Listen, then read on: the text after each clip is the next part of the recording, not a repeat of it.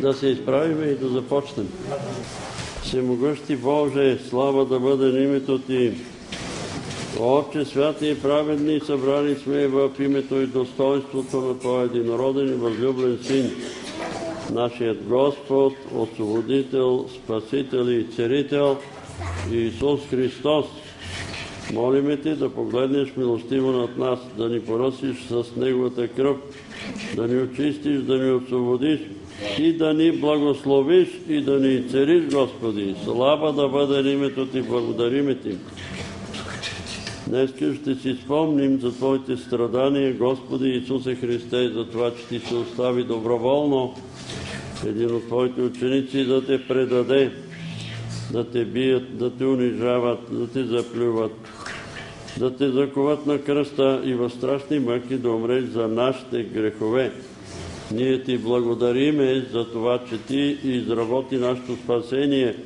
Помогни ни да го опазим до край. Помогни ни да бъдем благодарни за всичко това, което вършиш в живота ни.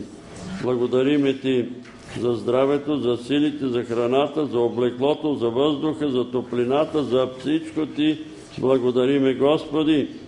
Молиме Те да опазиш това събрание от провокатори, от гадатели, от магиосници, от други слуги на дявола, да се разпръснат всички нечестиви от това място и това събрание и да се възвеличи Господ на силите тук на това място. Господи, слава Тебе! Признаваме, че без Тебе нищо не можем да сториме и затова молиме за Твоята благодат, Исусе Христе.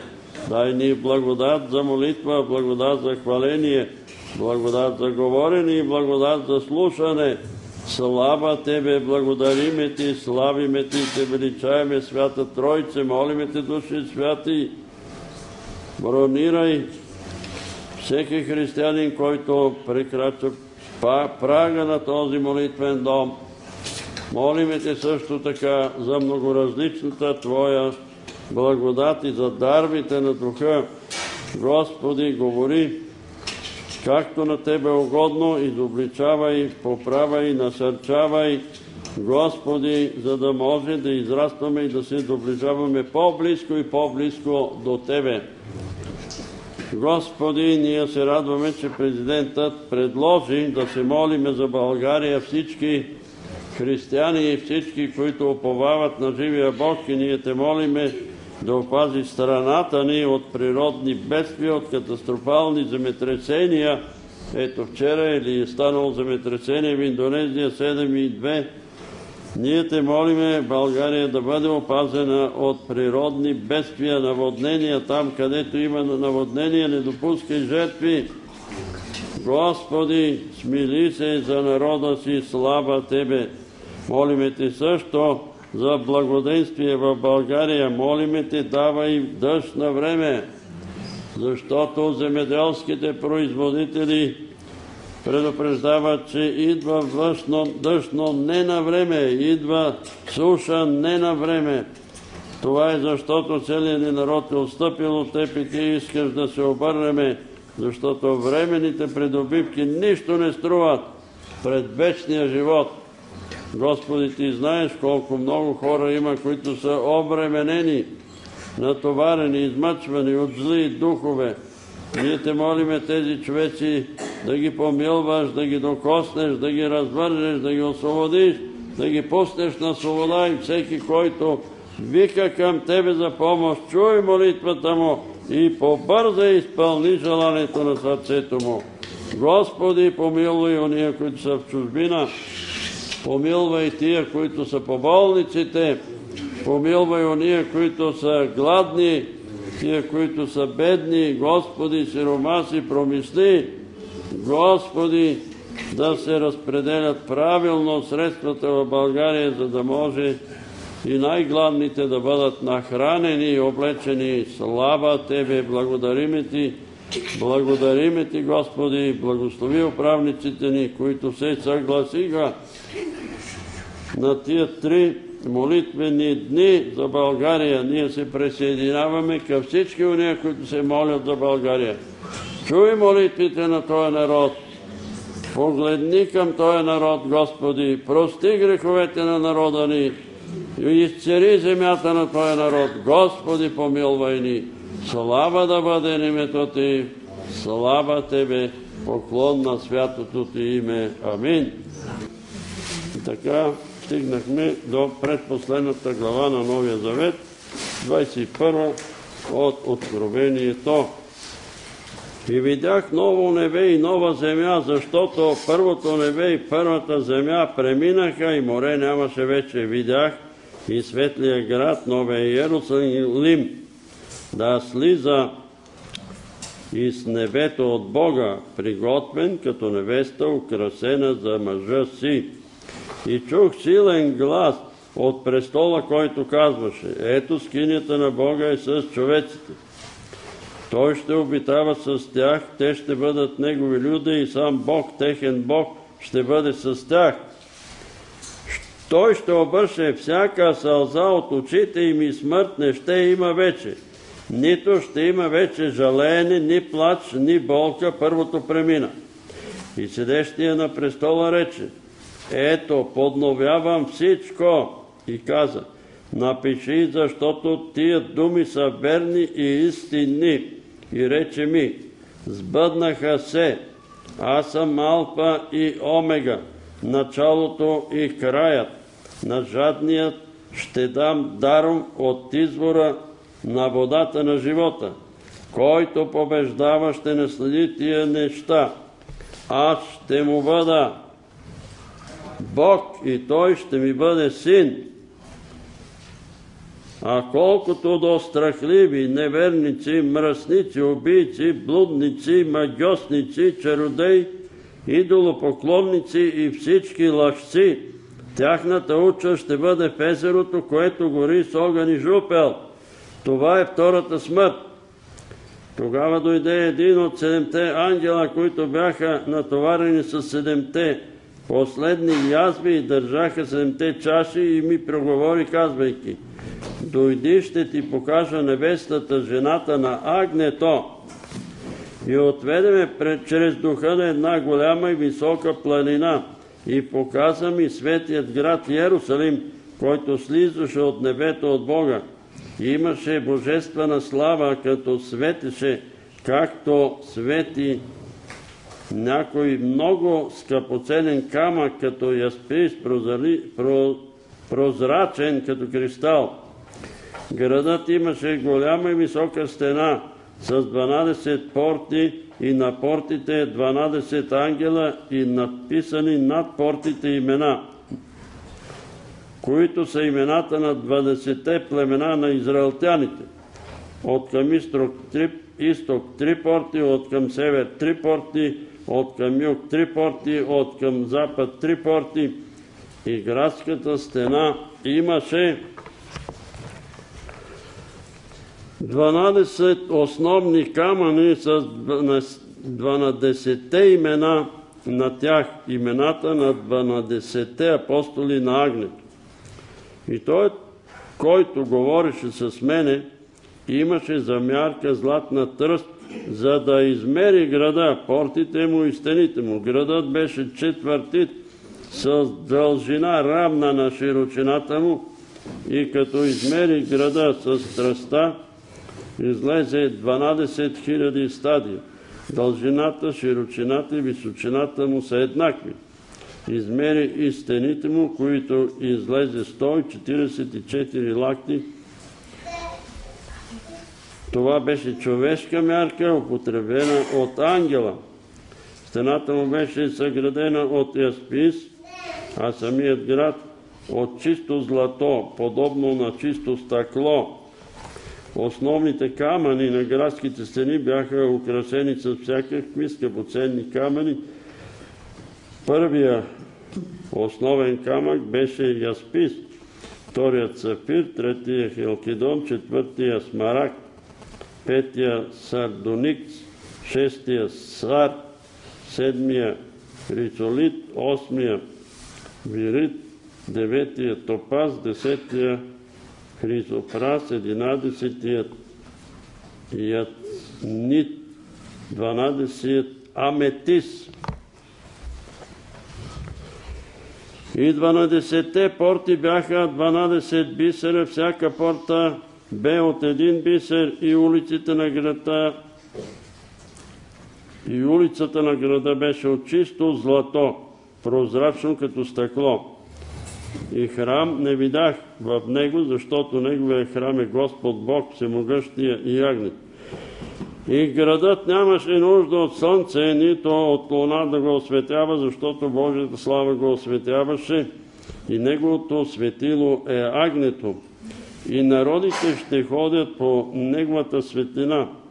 Земните царе ще донасят в него своите славни неща. Портите му не ще се затварят денем, а нощ не ще има там. Па и народите ще донасят в него славните си и ценни неща и в него никак няма да влезе нещо нечисто, нито уния, които вършат мерзост и който лъже, а само записаните в книгата на живота на Агнето. Амин. Може да седнете малко е така по-различна тая глава, но не само апостол Йоан и другите апостоли, и апостол Петър пише, че според обещанието му ще има ново небе и нова земя. Ние тия неща не можем да си ги представиме. Сега се явяват разни учители, тълкователи, идват от Америка, от къде ли не, да ни обясняват, че това е духовно, че няма да има такова нещо. Но старите светии са на мнение, че всичко това ще стане, че ще има възкресение на определена дата, в определен период Господ ще дойде, а и сам Исус говори по този въпрос, като отговаря на апостол Петър на въпроса му с какво ще стане с нас. По време на преобразяването на всичко, когато, казва пък апостол Павел, мъртвите ще възкръснат, а живите в миг на око ще се преобразят от това тленно ще стане нетленно. Нетленно. Каквито са ангелите. Аз съм един от тия щастливци, които съм виждал ангели, които са нетленни и те нямат нужда от лампи, от осветление, защото те самите светят. Те самите светят и около тех е светлина, а и някъде е писано, че уния, които повярват, ще виждат светлина. И тая светлина и тия неща ще станат и блажен онзи, който ще участва в сватбената вечера на Агнеца. Но тук, като че ли има неко противоречие, от една страна ние читаме, че Агнеца, това жената на Агнеца е църквата, а от друга пък тук пише, че жената на Агнеца е новия Иерусалим. Но писано е, че всички ние като живи камъни се вграждаме в този нов Иерусалим и всеки един от нас е тухла или камък в новия Иерусалим. И сватбата и жената на Агнеца на Господ Исус Христос е църквата. Много хора бъркат сградата с църквата. За, за сградата има една дума българска, която се казва черква. Черквата. Или молитвения дом. Домът на отца ми ще се нарече молитвен дом на всичките народи. Това казва Господ Исус Христос. И това е един такъв молитвен дом. Но църквата е жив организъм, който се състои от уния, които вярват и изповядват, че Исус е умрял за техните грехове и е възкръснал за техното оправдание. Тия хора се вграждат в църквата, но те трябва да се променят. Да се променят, защото виждаме тук един черен списък на човеци, които няма да влезат в Новия Иерусалим. Но за тия човеци, кръци, разбойници, магиосници, чародеи, има шанс. Сега е даден шанс да се покаят. Кръци, лъжци, които лъжат, няма да влезнат, защото никаква лъжа няма да влезе в небето. И затова те имат шанс сега, сега да променят живота си с Божията помощ, естествено.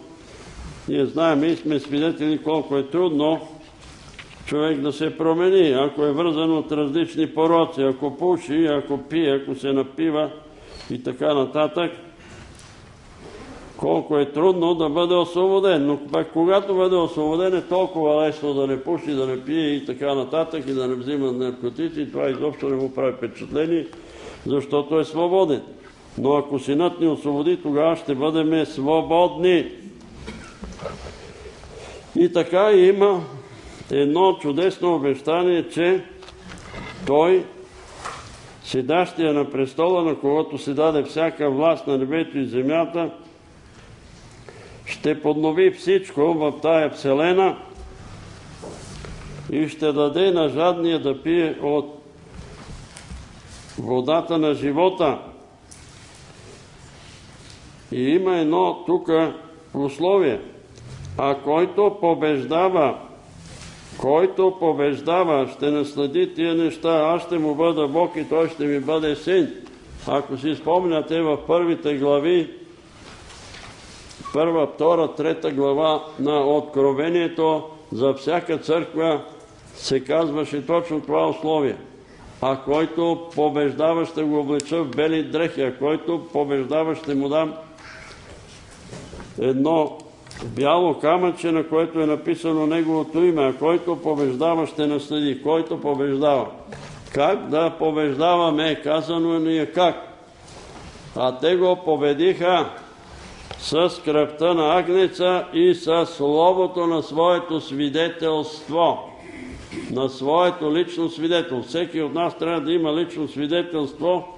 Ние се молиме често и пееме тия песни и говориме за това този велик, щастлив ден на нашето новорождение и всеки от нас знае кога Бог му е простил греховете, той е усетил, че е станала някаква промяна в него, омразата е изчезнала, заменена е с любов към всички твари, към човеците и така нататък. Ние очакваме това небесно царство.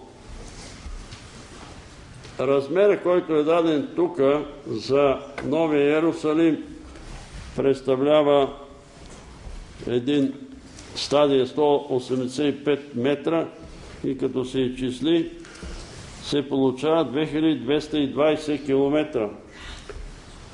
Едната стена, другата стена и трета стена. 2220 км дължина. Това е огромна площ, за която Господ е приготвил този Иерусалим. Ние не знаеме, апостола вижда, че слиза от небето.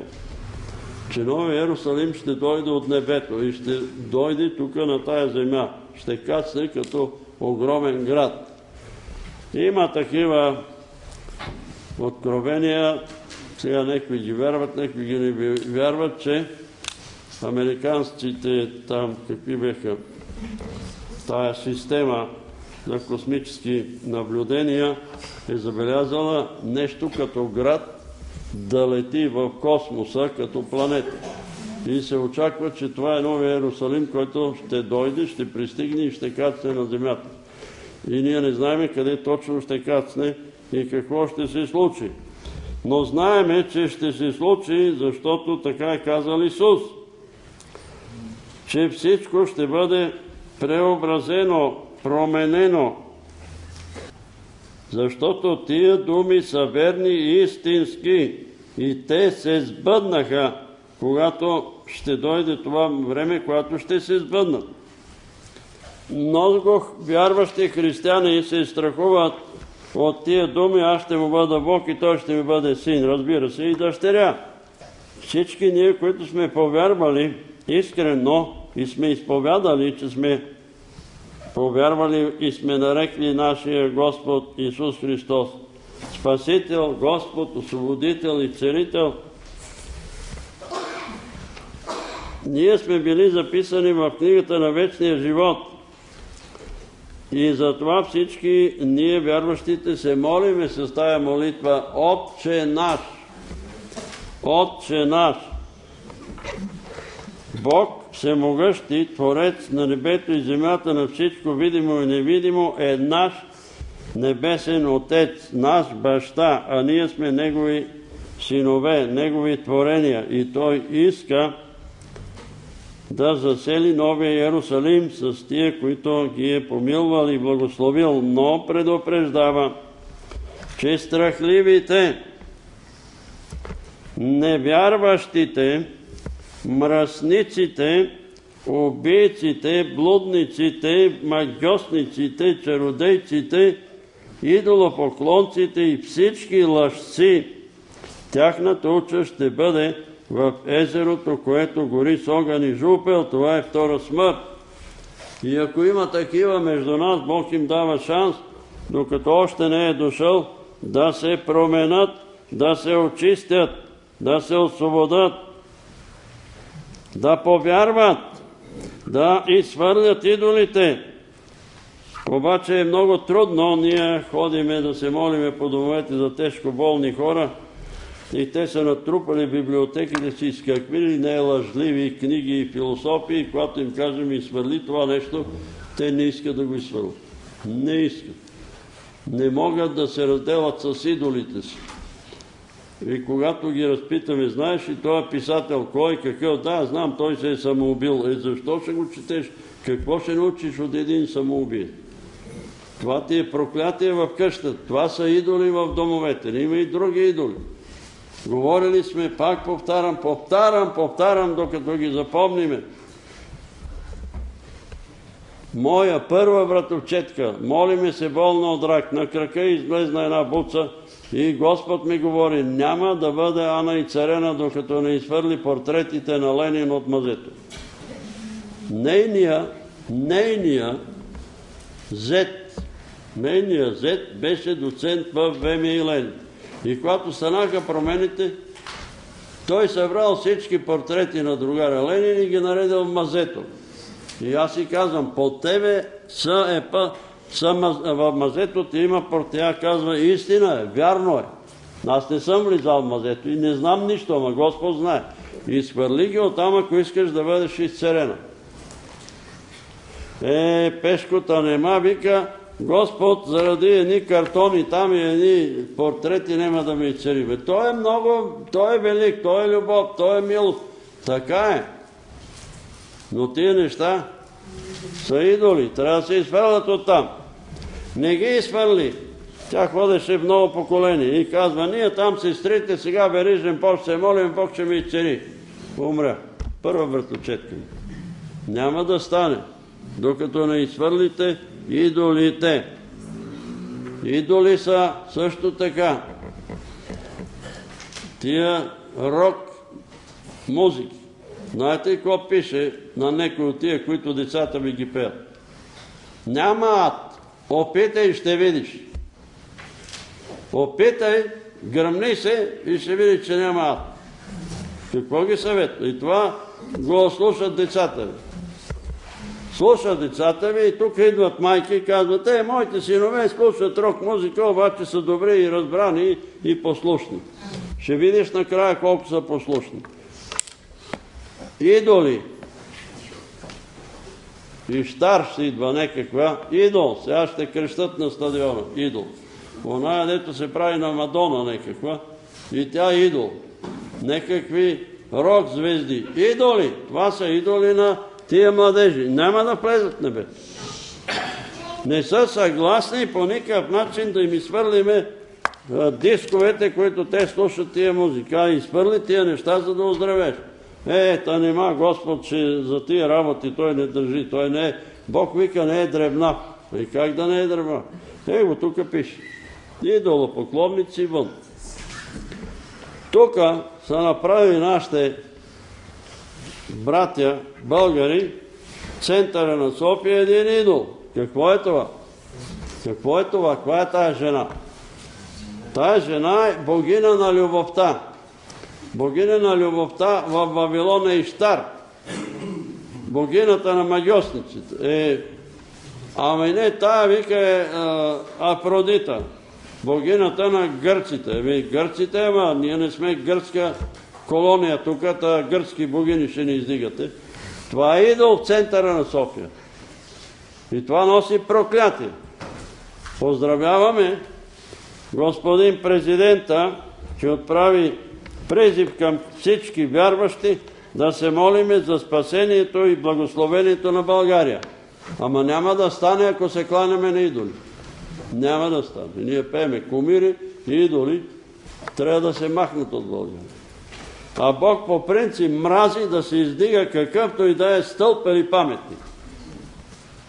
Стълб или паметник на човеци. Писано е в Стария Завет. Магиосници, гадатели, чародеи. Чародеи, какви са те? Астролози, баячи, гледачи, екстрасенси влизат в тая категория. Няма да влезат в небесните Защото се занимават с окултизъм. Говорят за енергии, никакви енергии. По телевизията оня ден ги поснах там, нека мъж говори. Енергии. В България не имало мир в домовете, защото не си разменяли енергиите правилно. Не си разменяли енергиите в семейството.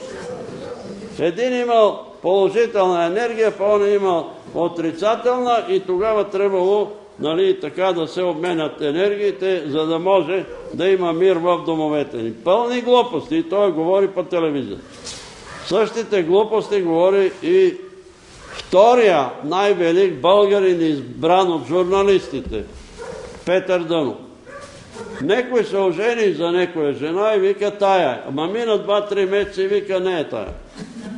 Не е тая, защото тя била с отрицателна енергия, той бил с положителна, или били двамата с положителна и се получавало искри и се получавало къвги в семейството. И тогава той трябвал да зареже тази жена и да тръгне да си, да си търси неговата половинка, защото в началото, според Дънов, всички човеци са били двуполови и след това, като е направил Ева Господ, ги е разделил на мъж и жена. И сега всеки си има неква половинка и трябва да си намери неговата половинка. И докато я намери, може да се разделя един път, два пъти, три пъти, докато си намери половинката. Глупости, лъжи, еги, чародей, чародей астролози, гадатели по звездите.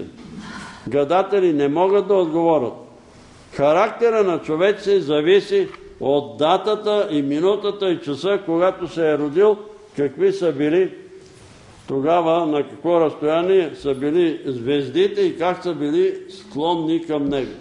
Раждат се близнаци в един и същи час, заченати са в един и същи час характерите им един на друг не се съвсем различни. Как ще го обясните, господа астролози? Като са родени в един и същи час. Не може да го обясните. А има хора, които са родени един в декември и он е в юни или януари и са по характер са еднакви. А това е защото Лукави измисля всички тия лъжи за да може хората да се кланят на различни идоли, да вярват на различни лъжливи учения. Лъжливи учения. Сега ние бехме с брат Димчо при сестра Галина ли беше? Галина. И тая сестра се разболяла. И дошли едни братя от чужбина и казали, служи Библията на земята и стъпи върху Библията. И тя стъпила върху Библията, стой там и сега Бог ще те изцели. Тя стояла на Библията, стояла обаче толкова лошо и станала, че да умре. И сега това се проповядва. И се проповядва и Божия църква. Да стъпиме на Библията. Абе хората искат да стъпиме на това тук, да го четеме и да го изпълняваме, не да стъпиме на Библията. И вие представяте ли си, ако стане пожар във вашия дом, какво трябва да правите? Да турите Библията на земята и да стъпите отгоре и да чекате да угасне пожара. И ще угасне ли? Ще угасне ли пожара, ако стъпите на Библията отгоре? Не може такива учители, които буквално, другите искат да ни кажат нещо, нали, че трябва да стъпиме на... Не да стъпиме с краката си, а с сърцето си да стъпиме на Библия. И да цитираме тая Библия. Да цитираме тая Библия. А това се проповядва. И тая жена вика, дойдоха тук и 300 зла, место и царене, получих толкова големо вношение, такова влушаване, а тия хора са от чужбина. Идват тук и ние ги приемаме, защото са наши братя, приемаме ги, а когато говорят лъжи и глупости, си мълчим. В една църква там, друга евангелска, дошли едни човеци там и говорили, нема син, нема святи дух. Нема святи дух, има само това, нема отец, нема святи дух, има само only Jesus. И го питам на спирката, бе брат, какво става? Хората се оплакват, кои са ти? Ми, какво да ги правим, бе брат? Докараха два тира с помощи сега и искат думата да говорят. Ами нищо, да си обърват там с помощите. Взимайте помощта и като си заминат, кажи на хората. Нема такова нещо.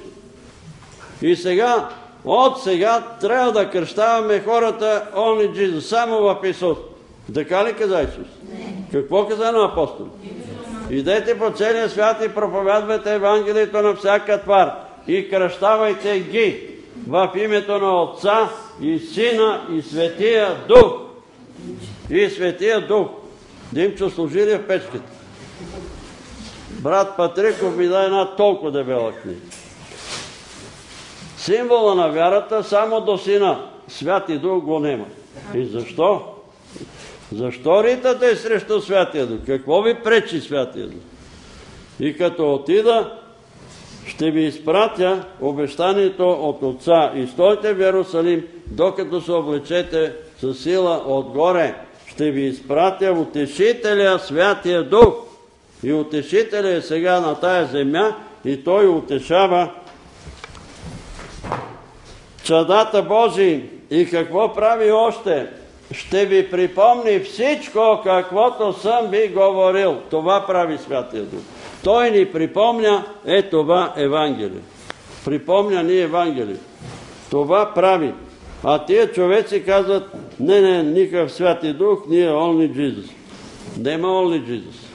Самия Jesus, Исус, говори в името на Отца и Сина и Светия Дух да се кръщава.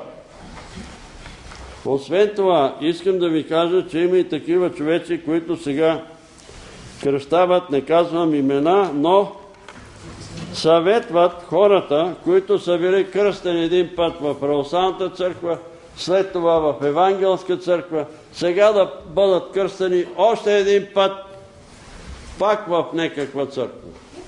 Не може три пъти да се кръщава.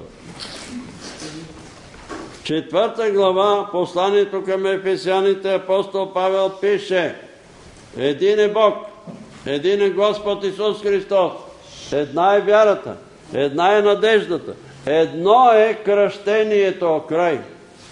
Има друго кръщение, духовно кръщение. Има трето кръщение, кръщение на страдания. Исус каза за себе си, че има да се кръсти кръщение на страданията, да мине през кръста. И някои хора минават през това трето кръщение и това са хората, които са мъченици за вярата, които са били избити заради вярата, изклани заради вярата. И тук пише обезглавени заради вярата, облечени в бели дрехи, които пеят песента на Агнеца на стъкленото море. Но сега има едно кръщение и то е в името на Отца и Сина и Светия Дух. Не може да приемаме други кръщения. Това са хора, които няма да влезнат в Небесното царство заради интерес, заради пари, защото ще дойдат такива ретици и ще казват, ари сега всички тия, давай да ги кръстите още един път и ние ще отчетеме там на нашите господари, че на Були на Левада 100 души са кръстени трети път и за тая работа ще получите еди какво си. И като го получиме, съдния ден, ще застанем и ще кажем, Господи, ама ние ходехме на Були на Ема получихте си там награда. Нали си получихте? Затова Господ иска от нас да бъдем верни. Кои ще влезнат в Новия Иерусалим? Верните. Верните. Сега са писали във вестника, понеже има такава история, сестра ми, ми по телефона ми каза, че аз съм слушал този разказ. Некой си направил шега нали, служил в гнездото на штъркелите едно яйце от гасе, от гъска и тая штърклица била убита от штъркели, когато се излюпило гасето. И сега този човек решил да го провери и служил едно яйце от кокошка. От кокошка. Служил яйце от кокошка. И Штръкела започнал, видел яйцето от кокошката, почнал да трака, да трака, надошли Штръкели, на, заградили това, убили Штръклицата и, и свърлили от гнездото. Какво разбират? Толкова им е главичката. Какво правят? Искат да бъдат верни един на друг. Това иска Господ. Един на друг да бъдем верни и на Него да бъдем верни. Никакви отклонения от той, от оня нови, модерни учители. Ами то в духовно смисъл се казвало заграбване, духовно смисъл за миг на око промяна, в духовен смисъл щело да има възкресение. Какво в духовен смисъл? Ето, той е духовен смисъл. Лев Толстой заблуди маса руснаци и маса българи са негови последователи – защото е велик писател, написал Война и мир, Ана Каренина, не знам кои си там. Обаче написали пето Евангелие, в което пише, че Възкресението е станало. Кога е станало? Кога е станало Възкресението? И апостол Павел пише, и некои проповядват лъжи, че уж Възкресението е станало и така събарят вярата на мнозина. Защото ако няма възкресение, празна е нашата проповед, празна е и вашата вяра. Ако няма възкресение на мъртвите. И ако Исус няма да дойде втори път, какво е това? Учение за некво, некакъв хуманизъм. Нали? Да бъдем хуманни, да бъдем да човека да го поставим по-високо от Бога, Хуманизъма е идолопоклонство. Запомнете го това. Хуманизъма иска да измести Господ Исус Христос и да ние ще направим рай на земята. Човеци ще направим рай. И си спомням, когато станаха промените и когато Жан Биденов на площада говореше там на площад Демокрация тогава, без Бог, без Господар ще направим рай на земя. България ще направим рай. И един дядо стои пред университета, един журналист го пита, дядо, ти какво мислиш? Може ли човеците да направим рай? Не може. Грешници не могат да построят рай. И особено, ако са пладнешки кръци, разбойници и грабители. Какъв рай се построят кръци и разбойници? Какъв рай? Рая техния ще бъде народа да бъхти, а те да вилнеят и да разточителстват и да харчат държавните пари. Такъв рай искат те. Ама иде видов ден. Иде видов ден и ние трябва да се молим, защото те го усещат. Страха вече ги е нападнал, че трябва да се плаща, че няма безплатна безплатен обяд, че трябва да се плаща за това, което са грабили ще трябва да се плаща и затова ние се молиме Господ да се смири над България и ще продължим да се молиме. Блудници и прелюбодеи са в този списък. Какво да правят блудниците? Да се очистят, да се покаят, даден им е шанс. Били са такива, ето ги. Блудници няма да влезнат. Убийци няма да влезнат. Убийци. Но за всички тях има шанс сега да се покаят. И като се покаят, какво да направят? Да изповядат греха си, да го оставят и да се променят. Но и всички лъжци, които лъжат, всички лъжци, тук са едно 90% от нашите политици. Ако додеме на власт, ще дигнем пенсиите, ще дигнем заплатите, това ще направим. Додат на власт, нищо не правят. Нищо не правят. Правят нещо, но това, което са обещали, не го правят. Защо? Ами защото задачата им да докопат властта. Аз съм ви го казал за тия, които не са чули. Долно камарци ми извикаха там комунистите, партията и викат, яви се като независим кандидат, имаш голем авторитет в селото, да станеш кмет. Ще си взимаш една пенсия и една заплата от 7-800 лева и ще си въртиш, вика си джърчето и ще си живее живот тук в Долно Камарци. Вика ми, какво трябва да правя? А как, какво вика бе, обещаваш? А какво да обещаваме? Ама всичко бе, какво ти дойде на ум обещаваш? Ма добре де, аз се обещавам, ама утре като не го изпълна и дойде Чичо там и каже, и дядо вика, и Петре, ти обещава, еди, какво си, какво правиш сега? Той и тогава какво ще правят? И те викат, ма как какво бе, човек бе? Много е просто. И какво му е простото? Ма пак обещаваш бе. Обещаваш и нямаш проблеми. Обещаваш, обещаваш. А какво е това обещаваш, обещаваш? Лъжа! Лъжа! Ето ги лъжците. Нема да видят небесното царство. Ще си въртат сенджирчетата, ама после си въртат сенджирчета доле в огнал той за.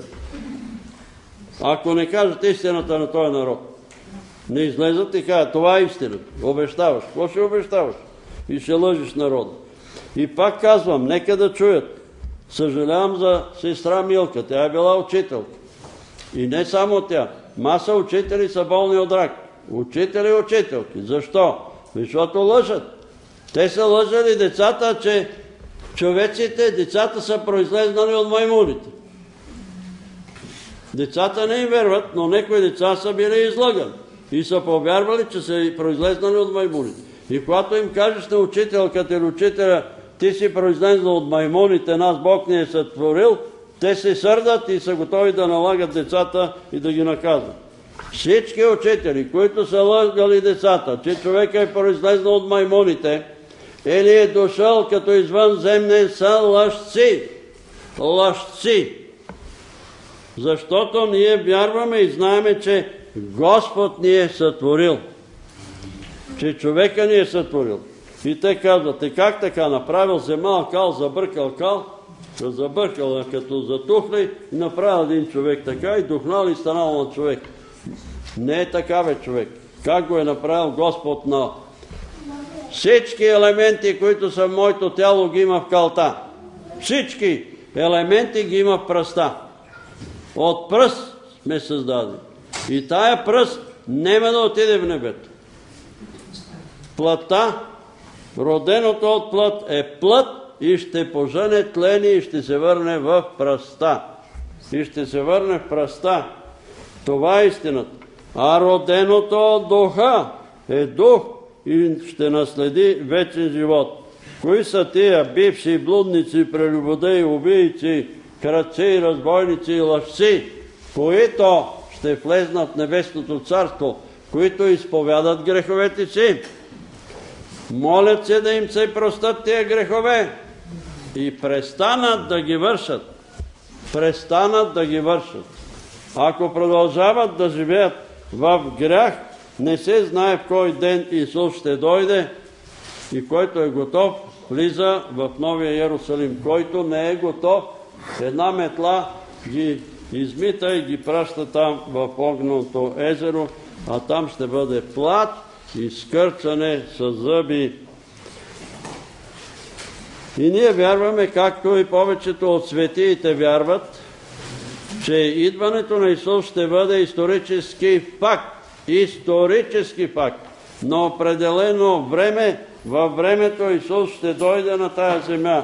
Защото ангелите казаха на апостолите, когато Исус се възнесе на възнесение Господне нагоре към небето и те, и те им казаха, мъже галилеяни, защо стоите и гледате нагоре? Той е Исус, който се възнесе. Пак ще дойде по същия начин и ще го видят човеците как идва на тая земя. И ние чакаме Той да дойде и Той казва, ето и да скоро. Дръж това, което съм ти поверил. Дръж това, което съм ти поверил. И ние знаеме и сме сигурни, че ще стане. Защо? Защото всички около 300 пророчества има за Исус, голяма част от тях се изпълниха. Голяма част от тия пророчества се изпълниха. Сега хитруват тия антихристи, атеисти и пишат. Абе, то Исус, това, апостолите са говорили за техното време, че Исус ще дойде утре, други ден, последно време. Запомнете, последното време е от възнасянето и на Исус Христос на небето до Неговото второ идване. Това е последно време. Не е само един период там от един век или два века, първите векове. Ние живееме в последно време. А часа и деня никой не знае, нито Божиите ангели, нито дори сина. Никой човек не може да знае, но ние знаем и очакваме, че Исус ще дойде. Ще дойде, за да грабне своите си, тия, които са Негови и с Него, както е писано, винаги да бъдем и да пребъдваме. Аз малко се усъмних, аз съм ви го казвал, че там вечно тия, които са с Него, ще пеят и ще прославят Бога на стъкленото море. Аз съм бил на това стъклено море, върнал съм се оттам. Но си казах, как вечно да пееме, денем и нощем се да пеем. И като ми се запя една песен, не знам коя беше, събуждам се и пея. Спа и пея. Събуждам се, пак пея. Хода, гледам нещо там, права, готва, пак пея. Духа пея. Той не се изморя. Той не се изморя. И това е едно състояние, което е благодатно и е чудесно да прославяме Бог и да пееме на Бог. Ама как да пея, като ме боли главата? Как да пея? Бе, пей, бе, въпреки, че те боли главата, тя ще мине. Като почнеш да пееш, да се молиш, да славиш Бога, нещата се променят. Пей, оставете тия мрачни мисли и мрачни пророчества. Това ще стане, айде, кога ще умреш да вземем апартамента, да го изпиеме. Не им обръщате внимание на тия, които говорят тия работи. Не им обръщайте, те не знаят какво говорят. Не знаят горките. Но молете се за синовете си, за дъщерите си. Искаме, нали, всички, които имат проблеми и са болни, искаме да бъдат изцерени. Обаче има условия. Господ е поставил условия. Изповядвайте един други му греховете си и молете се едни за други да оздравеят. Но целият протестантски свят казва не, ние с некои изключения Божия църква изповядат греховете си, ние не сме православни и католици да си изповядаме греховете. Нема да си изповядаме и като нема да ги изповядате, умират. Това е положението.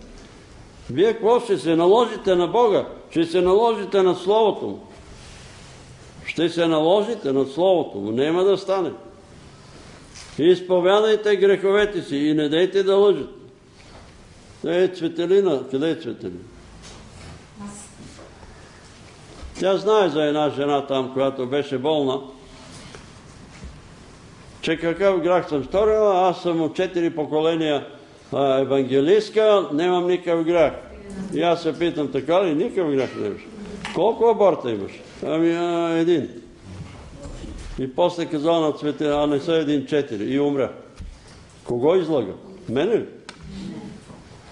Мене излага.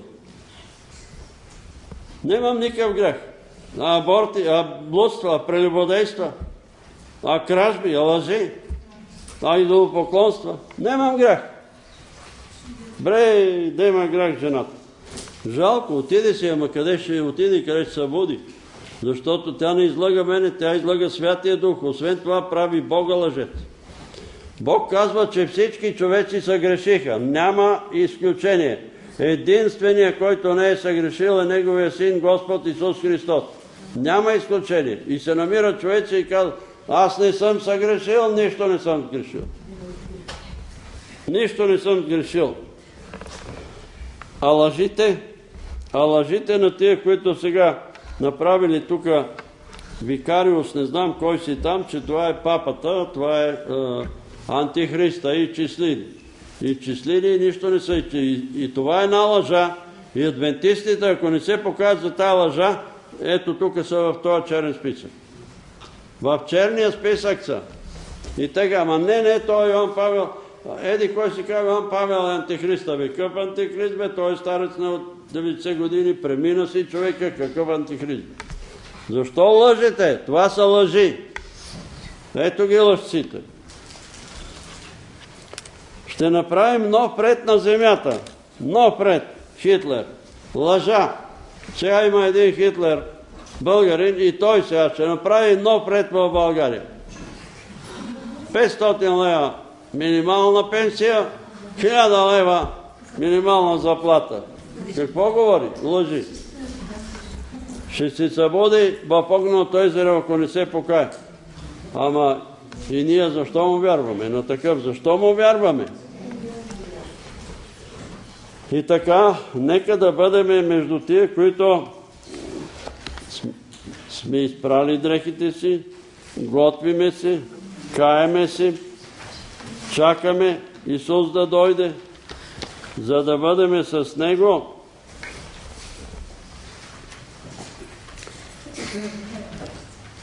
И да бъдем в този чудесен стъклен и златен град. Нали, някой може да изчисли там стените му, 70 и неколко метра. Но тия стени явно, пак ще кажат, те са духовни, не знаеме как ще стане, но знаеме, че ще стане апостол Петър казва, по откровението му ще имаме ново небе и нова земя, а всичко старо ще изчезне, защото стихиите, елементите, от които е сътворена Вселената, ще пламнат, ще се разрушат. Той е рибар, който преди 2000 години е казал, че ще има разрушаване на елементите. А учените са го открили след 1700-800 години. А той го е казал преди 2000 години. Ще пламнат и ще се разрушат елементи. И всичко, което е по земята, ще пламне и ще изгори в какъв свят живот трябва да бъдем и за да устоиме. Но за своите си Господ е промислил да ги опази, да ги опази. Градът няма да има нужда от слънце, нито от луна, да го осветява, защото Божията слава го осветява и неговото светило е агнето. Ония, които са виждали ангели, знаят какво се случва, че около ангела свети има светлина, а и Господ прави понекогаш, дава видение на хората да се освети целият дом, да се освети място, където е Исус, за да видиме тия неща, но някой път, когато ни отвори нашите духовни очи, за да видим истината, защото ние сега гледаме само плътските неща, плата гледаме, а не виждаме това, което е около нас. Понякога се виждат и черните сили, и светлите сили, и ангелите, които са на всяко събрание. Защото Исус ни е обещал, че на всяко място, където двама или трима са събрани в Неговото име, Той е там. И Той е тук сега посред нас със своят дух. И ние ще се молиме и като се молиме, получаваме и царение, откровения, освобождения. И искам да ви обади ми се една сестра Сашка. Вие знаете за тая Сашка от Плевен. Когато Сашка се обади за някакъв проблем, молиме се и проблема е решен. Последния път се обади за една жена, която лекарите са казали, ние сме до тук, тая жена умира. И сега тя се обажда и казва, брат Петре, ние сме в тая жена сега, тя е добре, жива и здрава и ние сме събрани на молитва при нея. Ние сме събрани молитва при нея. И аз се молих и казах, Господи, защо когато се молиме за нужди, които Сашка предлага, ти отговаряш? Защо? А други хора предлагат и нема отговор. Един, два път, сто пъти се молим. Не знам колко, колко случаи има, когато Сашка е предлагала нужди и Господ винаги отговаря. И Господ ми отговори защо. Защото Сашка ми е вярна. Сашка ми е вярна. Затова. Сега ми изпрати сестра Русица от Чехия. Нейно едно, тя е написала една брошурка такава по Словото Божие, когато Господ говори за Двойното и тройно въже лесно не се къса. Кое е това двойно и тройно въже? Исус казва, където двама или трима са събрани в Моето име, аз съм там посред тях. И ние трябва да се събираме двама или трима, защото тогава, ако сме двама, ще бъдем трима, защото Исус е заедно с нас. И когато се молиме, Той е с нас и проблемите и нуждите ще се решават, защото не може да се скъса връзката, когато ние сме скрити в Христа Исуса и ще има победа. Ще има победа и ние трябва да се събираме и да се молим и да се подкрепяме един друг. Също така се молихме за един Андрей от Горна Оряховица да си намери работа. Майка му се обади, че е намерил работа. Верно е, той е с висше образование, неква работа, която е по-долна, но слава на Бога, ще работи. Това нещо че ме подкрепя и е добре. Той имаше проблеми психически. Сега е добре Андрей и е заминал на турне с хора, градския хор на Оряховица, Горна Оряховица в Италия. Нещата потръгват при него. Но майката, като всяка майка, моля ви се, брат Петре, молете се Андрей да си намери другарка. Другарка вярваща. Аз вярвам, че Бог е световник и той може да му помогне. Може и при тая това пътуване до Италия с този хор може да си намери някоя другарка, да се ожени Андрей, завършил е семинария, но не може да му се намери такава работа, почва да работи друга работа каквато и да е. Защо се молиме за някои хора? Няма, няма резултат. Няма, защото не искат да изпълнат Божите условия. Не искат да изпълнат. Моля се за сестра Милка, моля се, но тя трябва да изповяда греха си. Разберете го това. Преди години, може би 30 години, ми беше казано, иди в втора 50 на църква и кажи, църквата пости врежен пост, месеци наред да дам дарба на пастира, дарба на и царение. Такава дарба няма да му дам. Няма да му дам такава дарба. Болните в 50-ната църква, ако искат да оздравяват, да изповядват един на друг греховете си и да се молят един за друг, ще ги изцерявам. Прекъснаха ме и ми казаха, Православните и католиците се изповядат греховете. Ние не ги изповядаме на човеци. Ние се ги изповядаме на Бога. И какво да правя сега? Господ казва това да направите. Вие ги изповядате на Бога, а апостол Яков казва един на друг. Кой е прав, кой е крив? Святия Дух ли греши, като е казал един на друг? Бог не знае греховете, верно е. Когато човека ще застане да се покая, който е грешник, непокаян, трябва на Бога да се изпада греховете, откакто се помни до днес. Каквото е съгрешил, милост Господи. Съжалявам, милост Господи. И Бог ще му даде уверение, че му е простил греховете.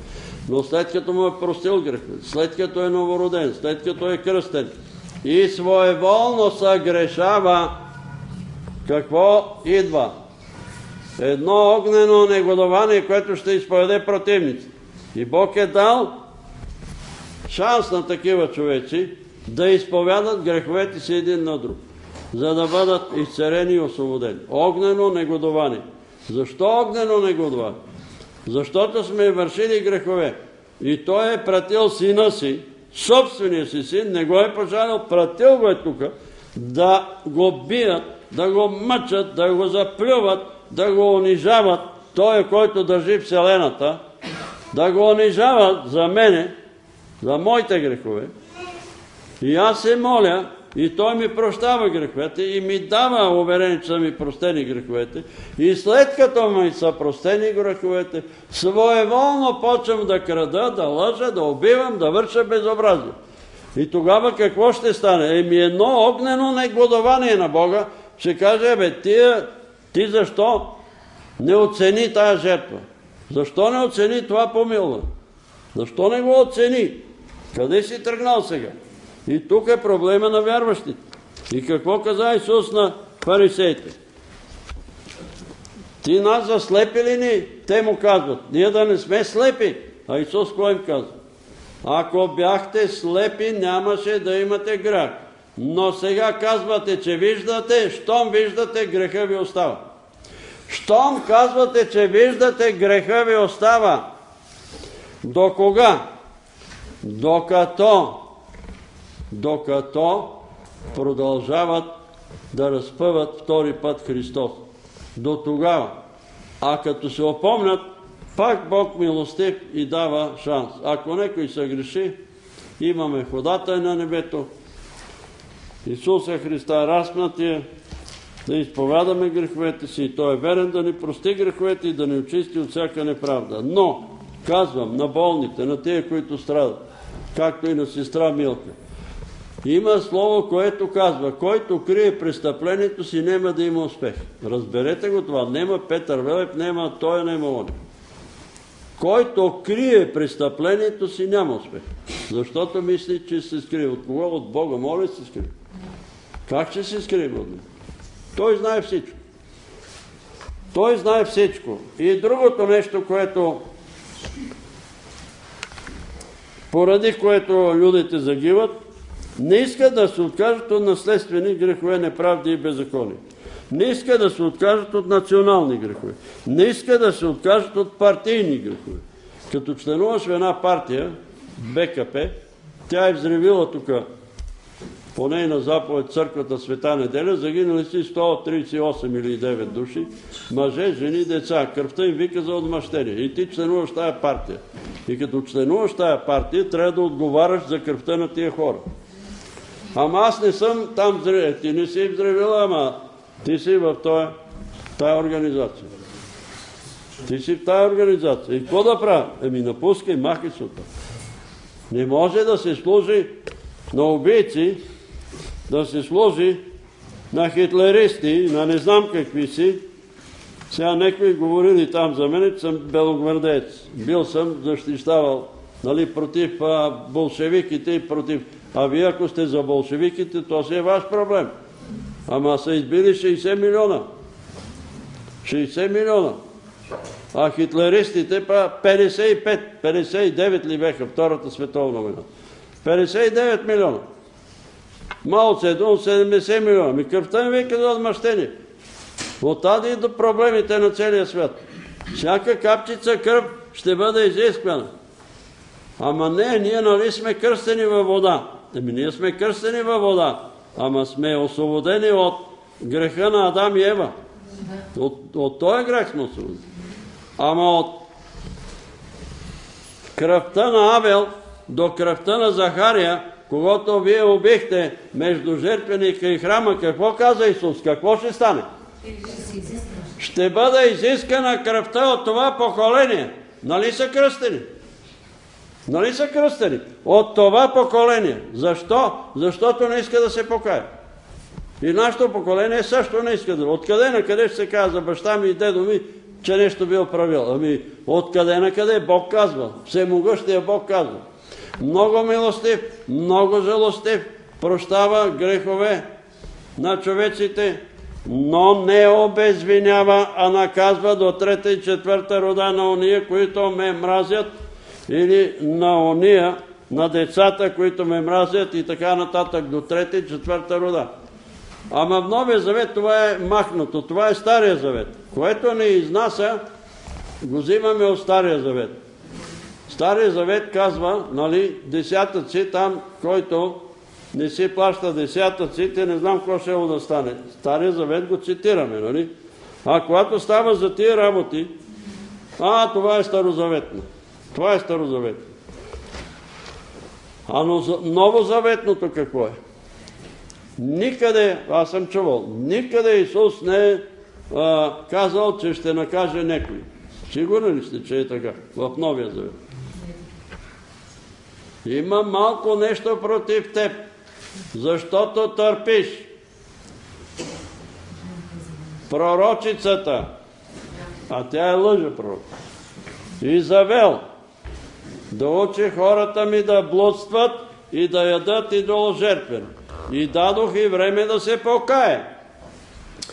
Но тя не се покая. Затова не я хвърлям на постелка.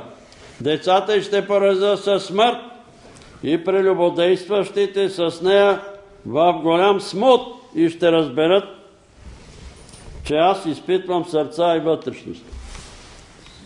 Това е в Новия Завет. Магиосница и завел на постелка.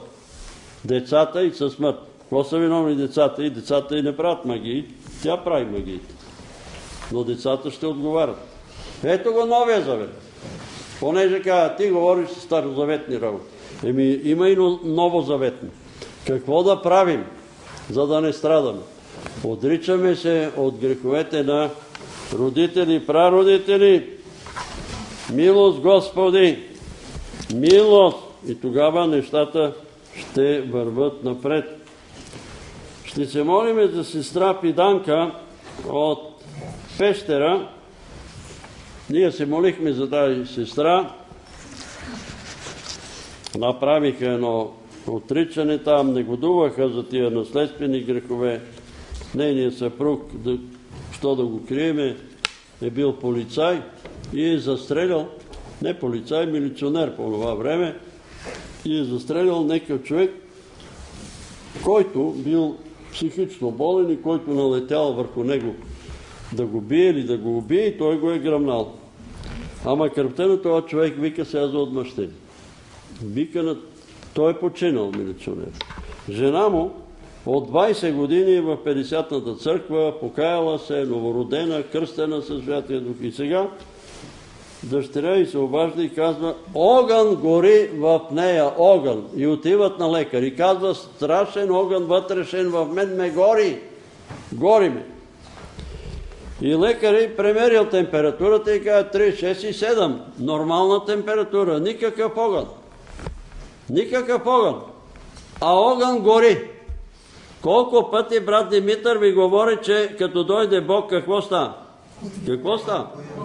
Огън. Ами ето го. Ето, жената се обажда с нощи по телефона, вика, майка ми, вика, гори, вътре гори, огън гори.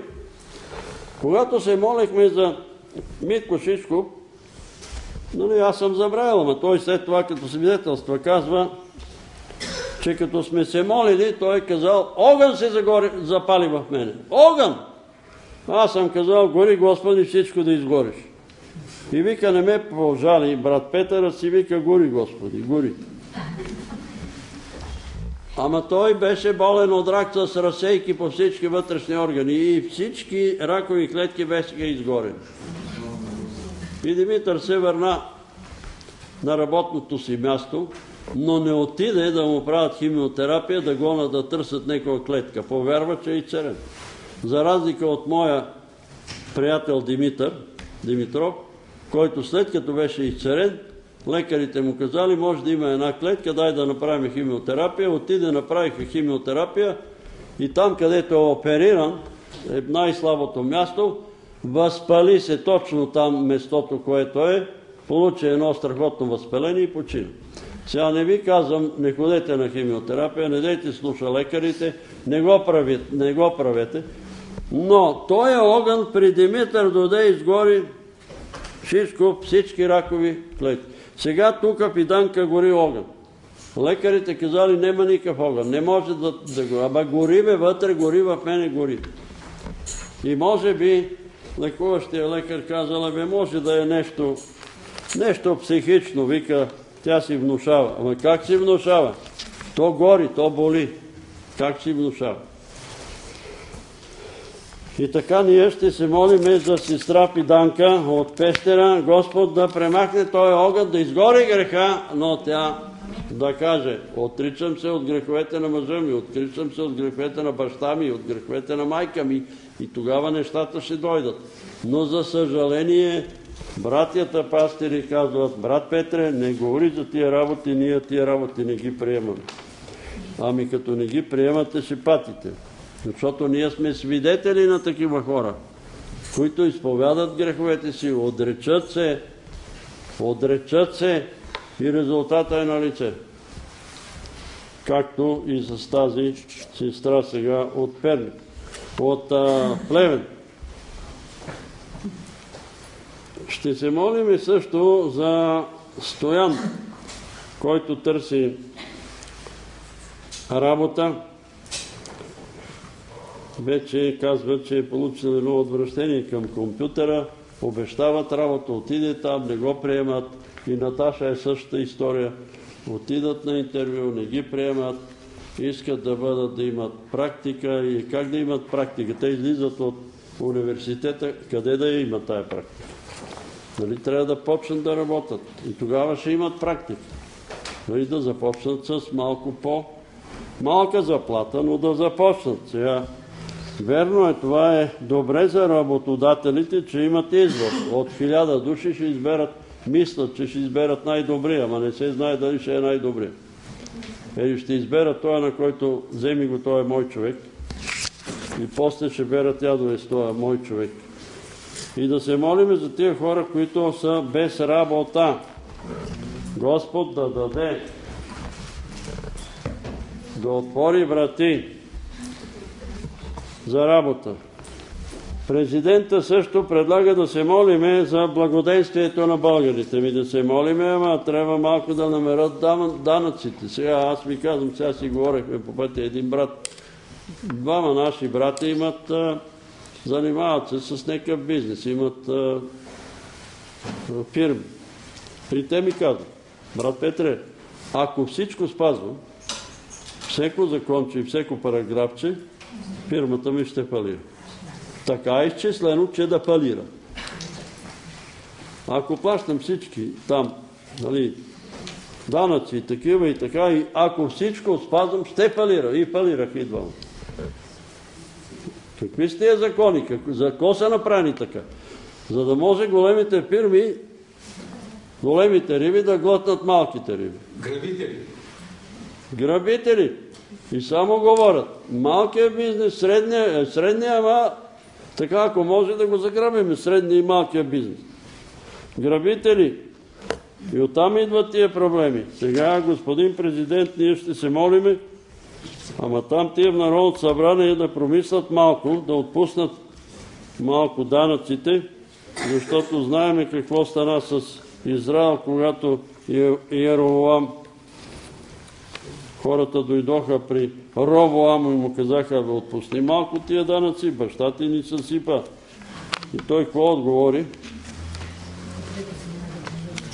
Отговори, не помна точно какво беше, ама срави нещо с това, което бащата е баща му е взимал и било като малкото пръстче, като котрето, а той сега ще ги натовари с големи данъци. И какво стана?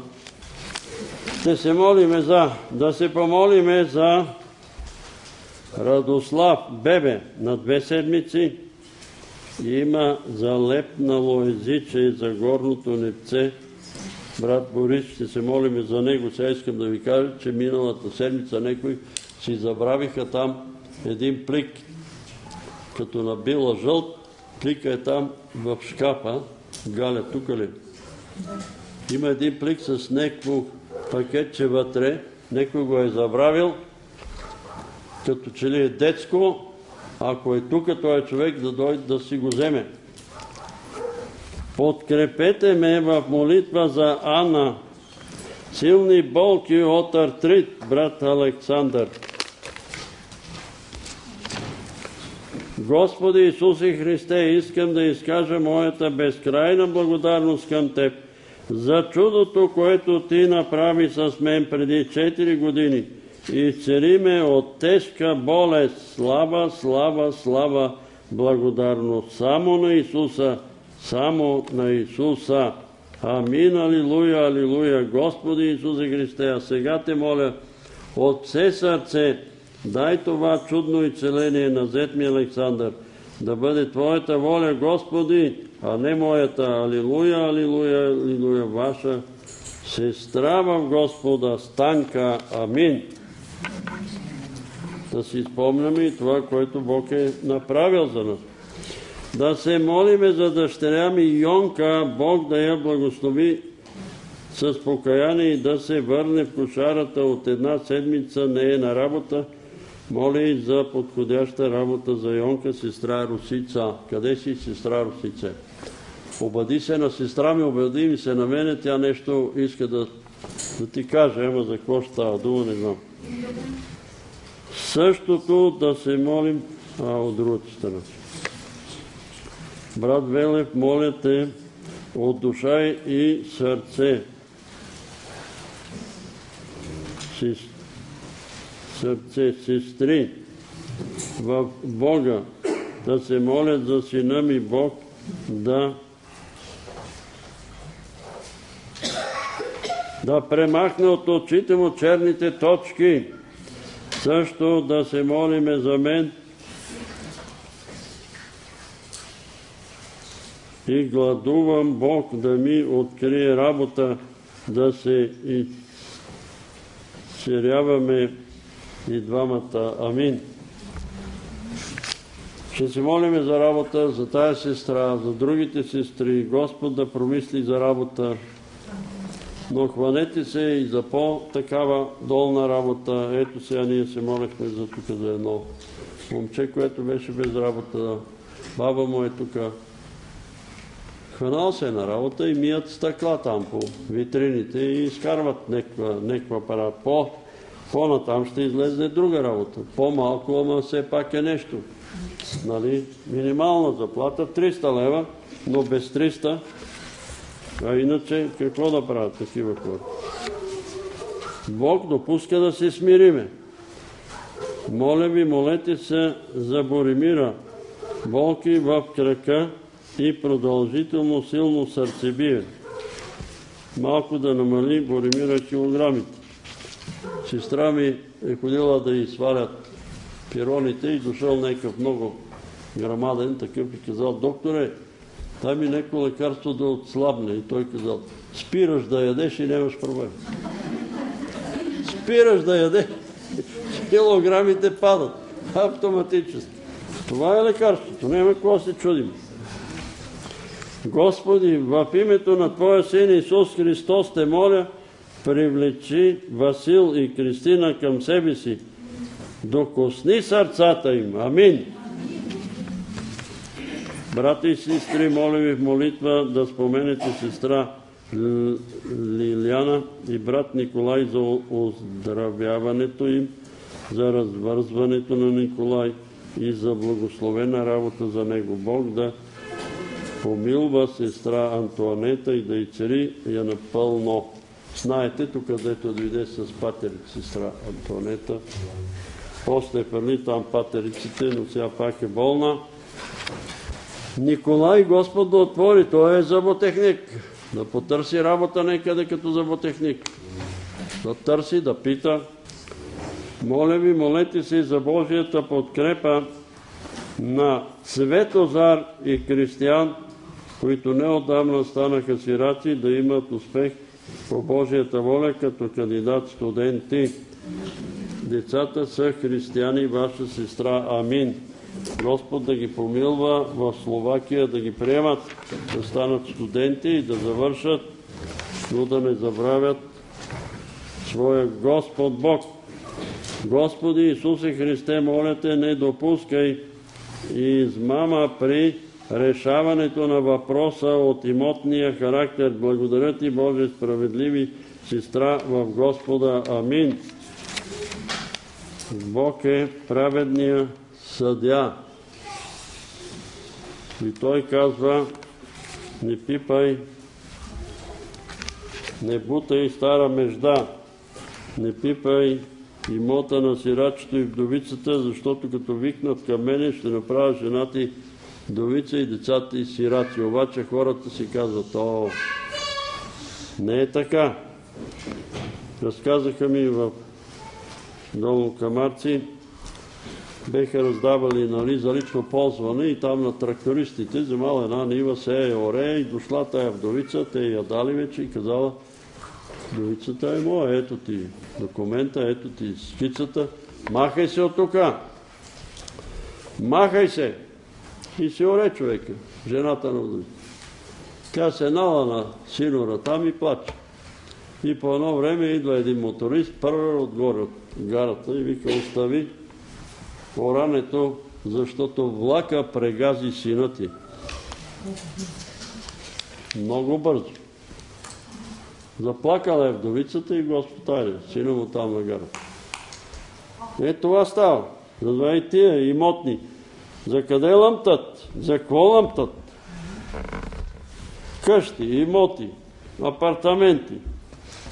Да се молим и за тази сестра Галина.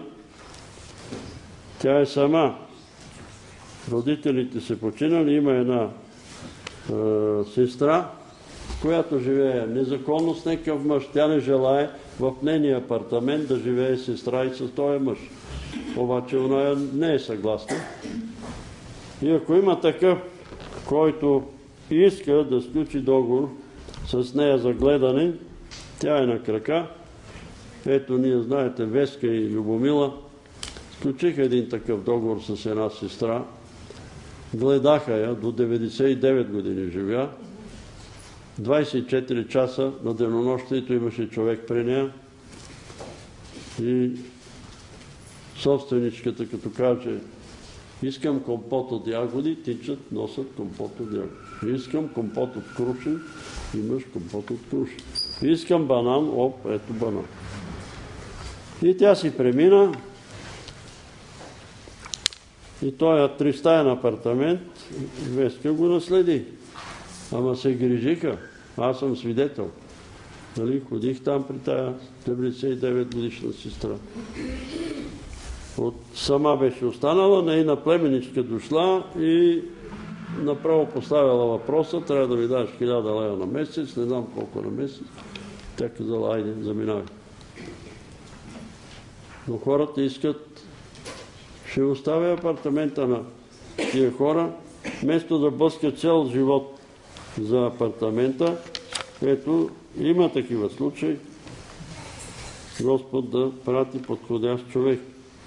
Моля ви, брати и сестри, да се молим за Стоян и Даниел, които са в депресия за тяхното по-добро оздравяване и възстановяване и за работата им. Амин. Благодаря ви, Бог да ви благослови.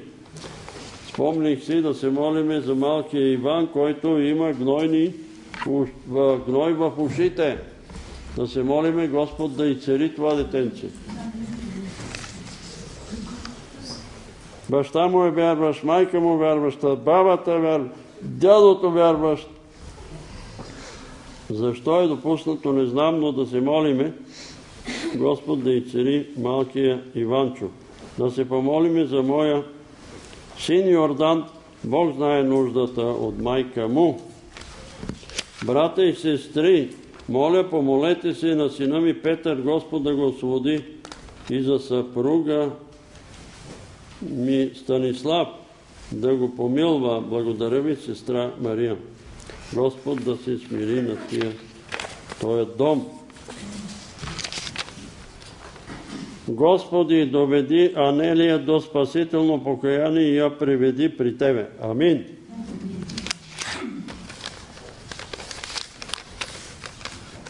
Брати и сестри, да се помолиме на Господа за сестра Милка. Заболяването е рак и е с много силни и непоносими болки. Не може да става. Спря да се храни и обезболяващите не й помагат.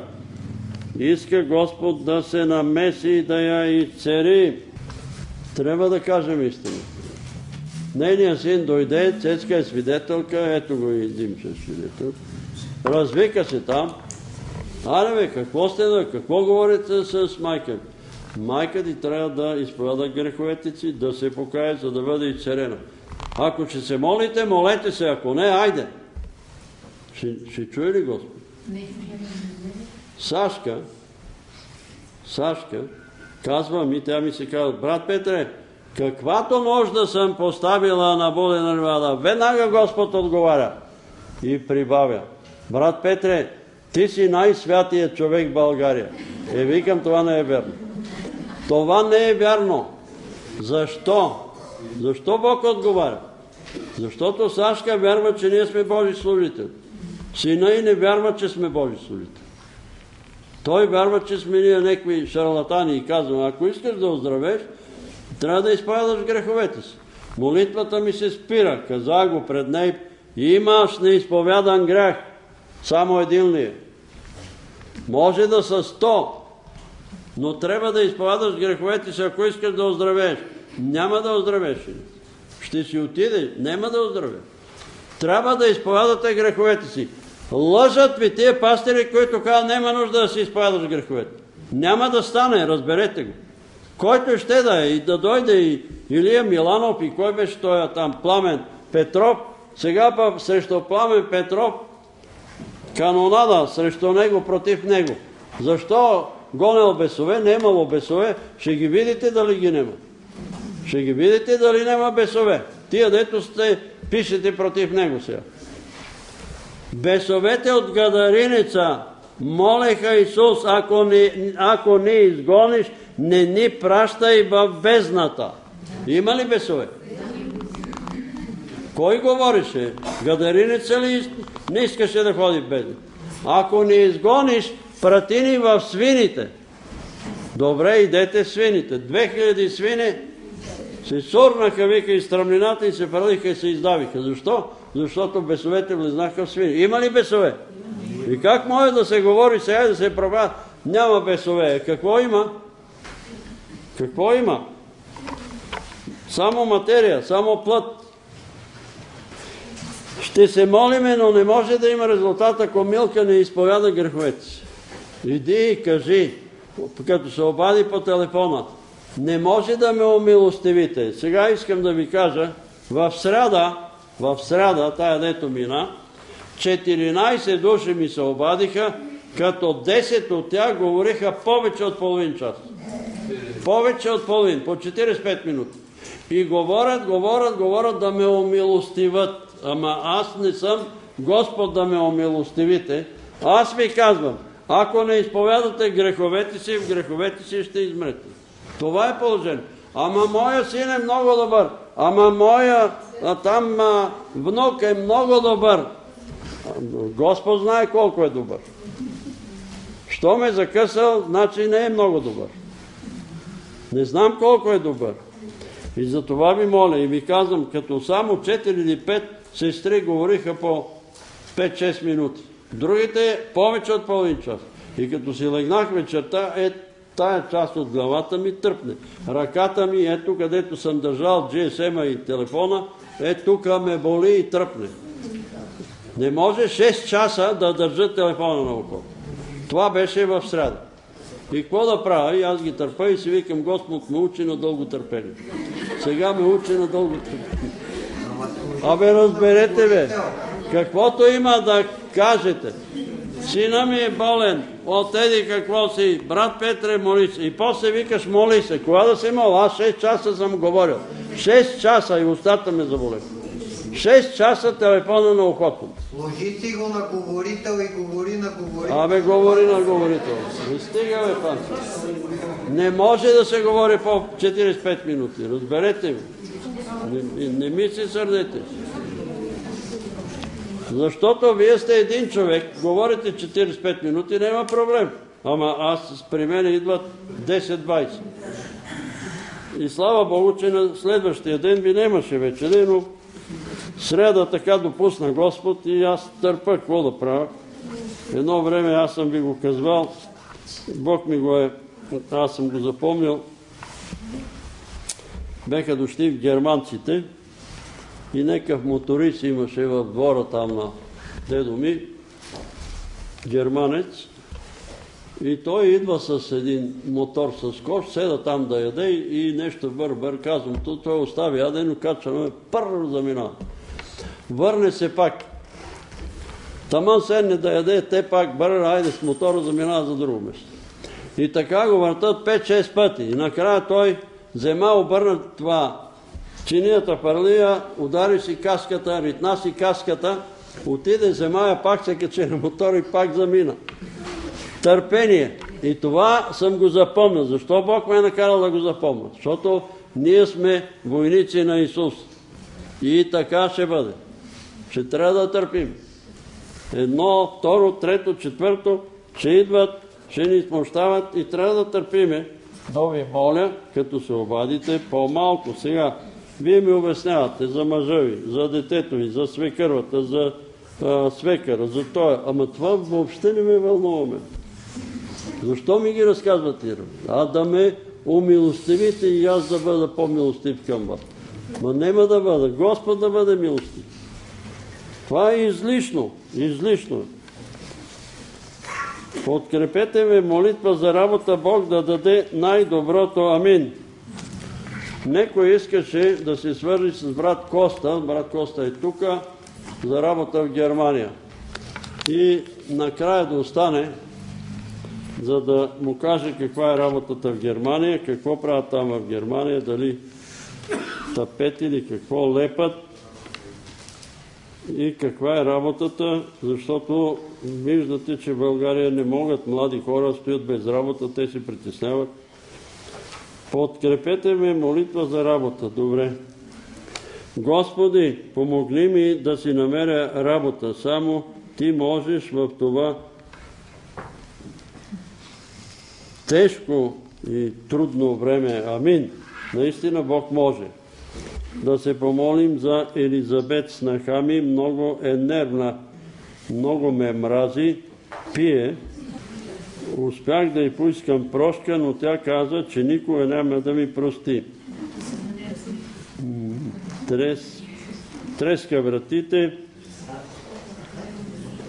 и други и не се понася самата тя.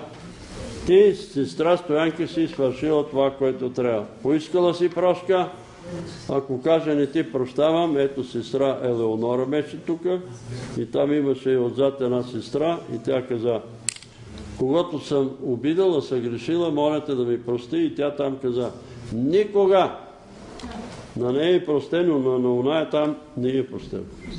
Оная, дето казва никога, какво казва Исус? Ако вие от сърце не простите прегрешенията на член, той няма да прости ваш. Това е проблема на всеки един от нас, защото не можем да прощаваме. Не сме се научили да прощаваме. А Исус го заковава там на кръста, забил от му пироните и той каза, Господи, прости им, не знаят какво правят. Не знаят какво правят. Заковават Божия син. Не знаят. А ние трябва да се научим и ние да казваме, Господи, прости им, не знаят какво правят. Холят ни, да ни холят. Мили Боже, благослови цари Ани. Единствен Ти можеш. Моля Те в името на Исус, благодаря Ти, че вече си чул молитвите ми и изпълняваш искането ми.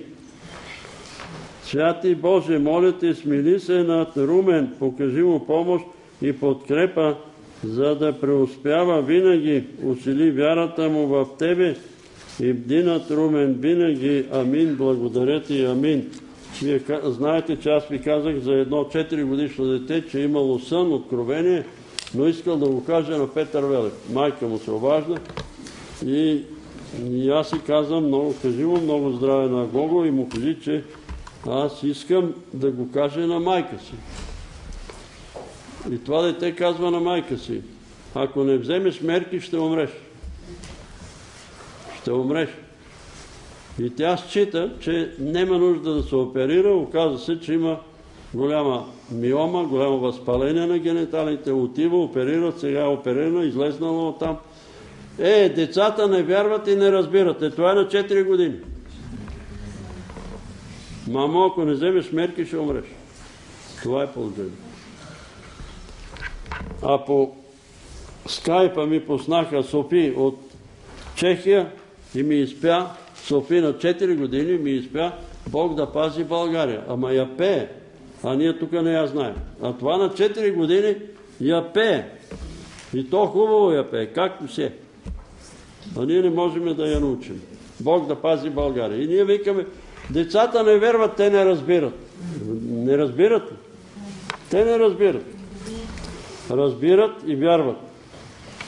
Сега ще се молиме, ако имате вие да предложите некой, вярвайте сега, не ми се сърдете, сега се сърдите след това, че отново, след като съм ги прочел тия бележки, след това в молитвата отново не съм ги повторил един по един. Минали ги прочета, Господ ги чу. В православната църква какво правят там? Помениха. Какво прави свещеник? Чете го. Този, този, този, този, помилвай ги и ги изрежда. И ние ги предлегаме и аз ви казвам, че сънувах съм, че тия бележки на един тир се налепиха по тира, той отиде в небето. Отива в небето.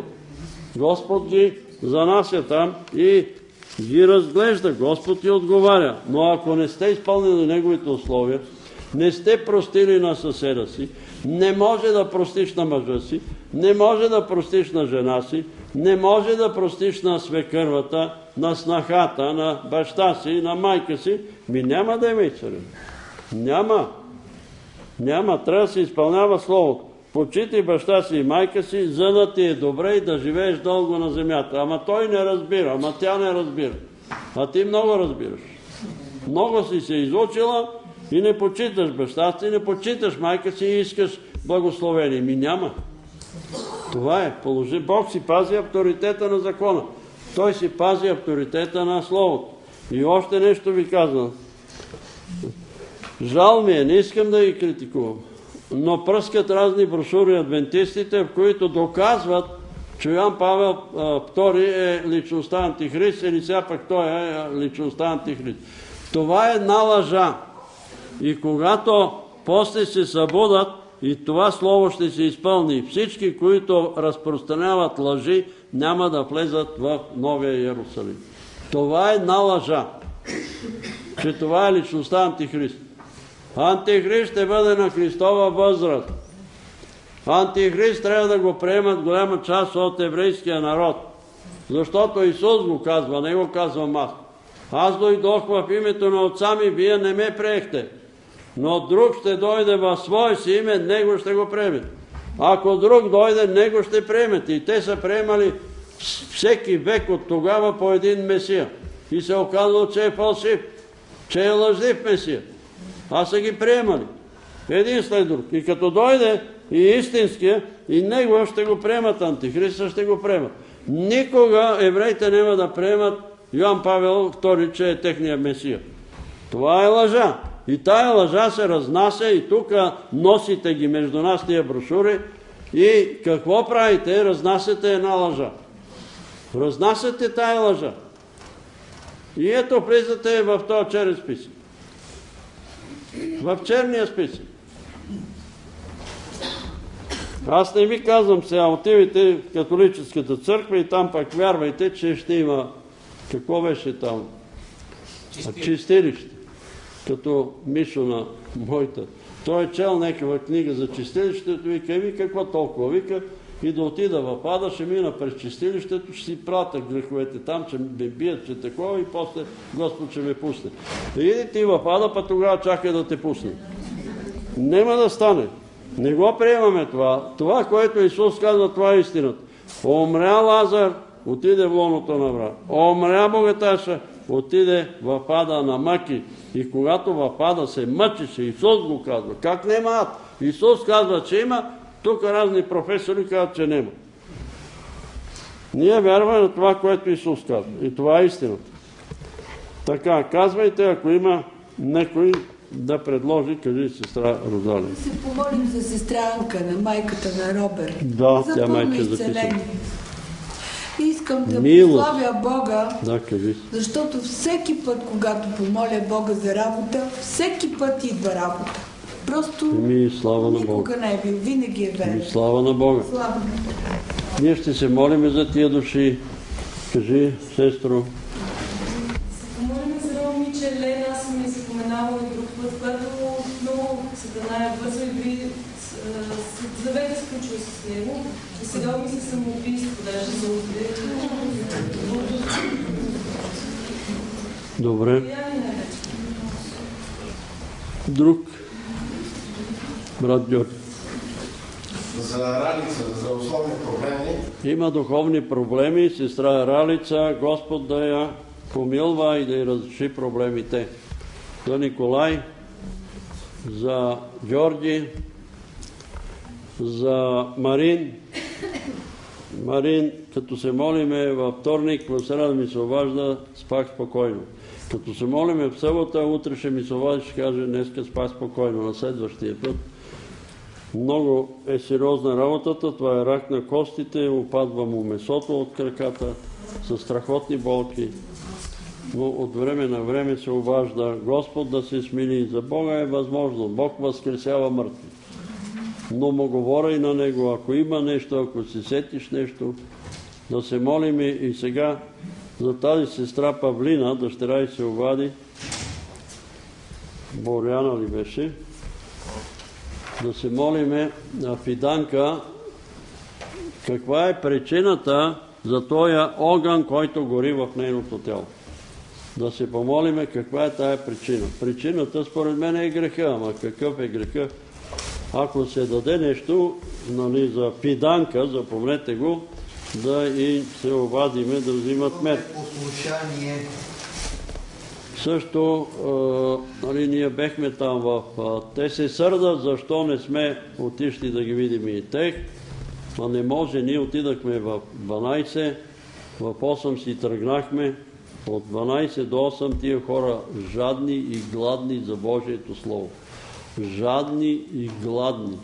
Слушат с зинали уста. Ей така, слушат. И ние им говориме, говориме, говориме, говориме и те, и те приемат. Ама защо не минахте и при нас? Еми не може, не можете. От едно място аз ви казвам, че един ден, ако отидеме на две места, не се получава. Защото прибързаме, давай да се помолиме, отбиеме номера и отиваме на другото место.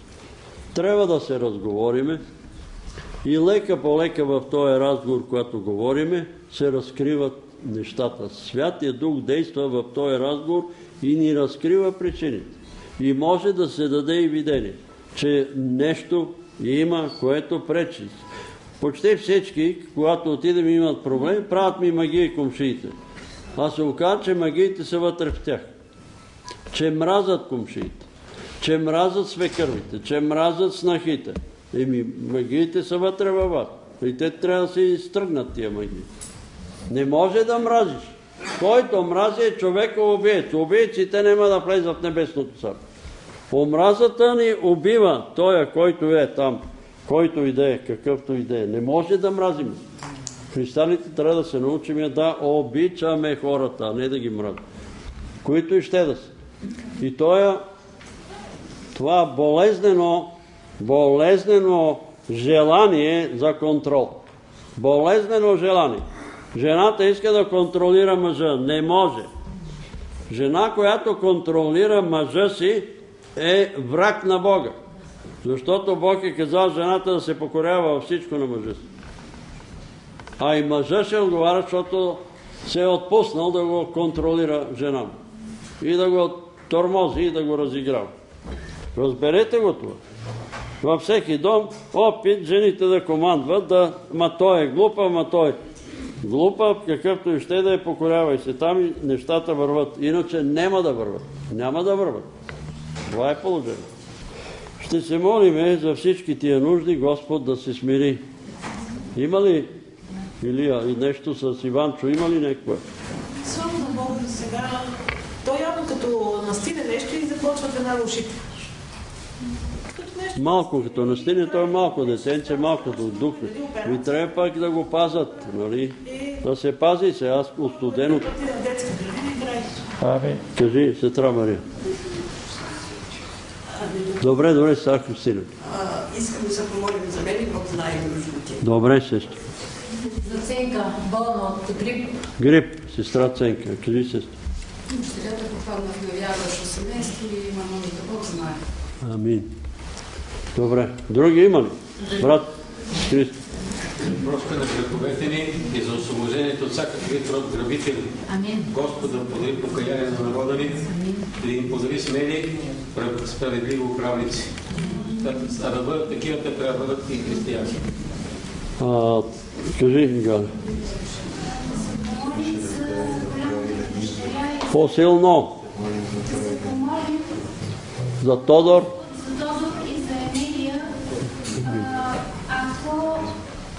там е мястото по този манастир, че ние у нас, Господ да им отвори ума.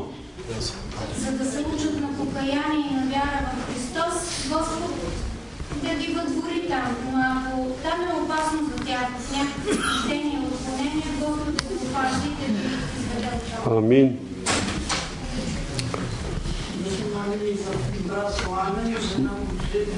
Да се молим и за брат Сламен, жена му пристигна Да. при него. А, Продължава терапията, за която лекарите си казали, че в 11-тия ден трябва да променя да има, ама в лошо състояние, той се чувства добре. Той се чувства добре. го в ръцете на Бога. Амин. Амин. Добре. Се молиме за пламен. За уверение на лекарите. А, брат Коста. Другата има някаква болка тук отстрани. Под сърцето. Да, е. Да, Добре, ще се молим. Така, да се молиме и за а, съдбата на това събрание. Защото има някакви претенции, нещо, ще видим какво ще излезне, да се пререгистрира църквата, ще видим, но трябва да се молиме, за да стане Божията воля. Сега някои брати искат нали, да се направи нова регистрация, ние да участваме в тази нова регистрация. Но аз искам да ви кажа това, което аз мислих, молих се за това нещо. Когато Господ ме призова и ми нареди да излезна и да проповядвам, Той ми каза, излез и проповядвай на този народ, защото народът загива от липса на знание. И говори на този народ. И аз казах, аз се съпротивлявах. Господи, не искам аз да говоря, защото трудно говоря. И предложих на Бога, брат Никифор, той каза, не Никифор, ти, брат Георги Папазов, не Георги Папазов, ти, брат Георги от Баптистия, не той, ти, сестра ми, не тя, ти, ти ще говориш. И тогава дигнах ръце нагоре и казах, Господи, защо аз да проповядвам? Отговора беше, защото ти добре ме познаваш. Аз мисля, че не познавам добре го, ама той казва, че го познава. Това е моето задължение. След това ми каза, полагай ръце за изцерение на болни. И аз казвам, кой съм аз да полагам ръце? Аз не съм никакъв, ни съм дякон, ни съм свещеник, ни съм пастир, има си хора, които да полагат ръце. На тебе казвам да полагаш ръце за изцерение на болни. И третото ми, третото задължение, развързвай и освобождавай насилваните от дявола. Тогава му казах, аз съм с недостатъци. А той казва, всички сте с недостатъци. Всички сме с недостатъци. Аз съм с недостатъци. И ми показа един човек с една изсъхнала ръка, отрезана му ръката. И казва, виждаш ли този човек? Той е с една ръка и е с недостатъци. И изгонва и развързва населените от дявола. А ти защо не искаш да развързваш тия, които дявола ги мъча и ги тормози? Това ми е заповядано да правя. Това. Сега ви казвам. Много хора се опитаха да ме спрат. И казаха, нямаш право. Не си регистриран. Не съм какъв си. Тия, които се опитаха, Господ ми казваше, записвай ги в една тетрадка, които ти се противат. И аз ги записах 170 души. 100 вече ги няма между живите. Директори, началници, меверета, не знам какви, искаха да ме спрат да не се моля. Да ме спрат да не говоря. И сега не мога аз да се занимавам с друга работа. Не мога, това ми е заповядано, това правя. И се молих по ная вечер, Господи, какво да правя? Какво да правя? Сядаш и пишеш нова книга. Книгата да се казва Живота на владиците. Кои са тия владици, не знам. Дали това са владиците, които са владели България, царе, управници, аз знам, че като почна и като седна, той ще почне да ми подава информация. Защото информацията идва. Това е един начин за тая дарба знание, която не е да назубриш Библията на Исус, а получаваш информация без да я търсиш, тя идва при тебе. Тя идва информация. Разбрахте ли ме какво ви казвам? И за това не мога да се занимавам с административна работа, да бъда брат Вирчев ме покани да ме направи дякон в 50-та църква и там да проповядам. Не е за мен дякон да става.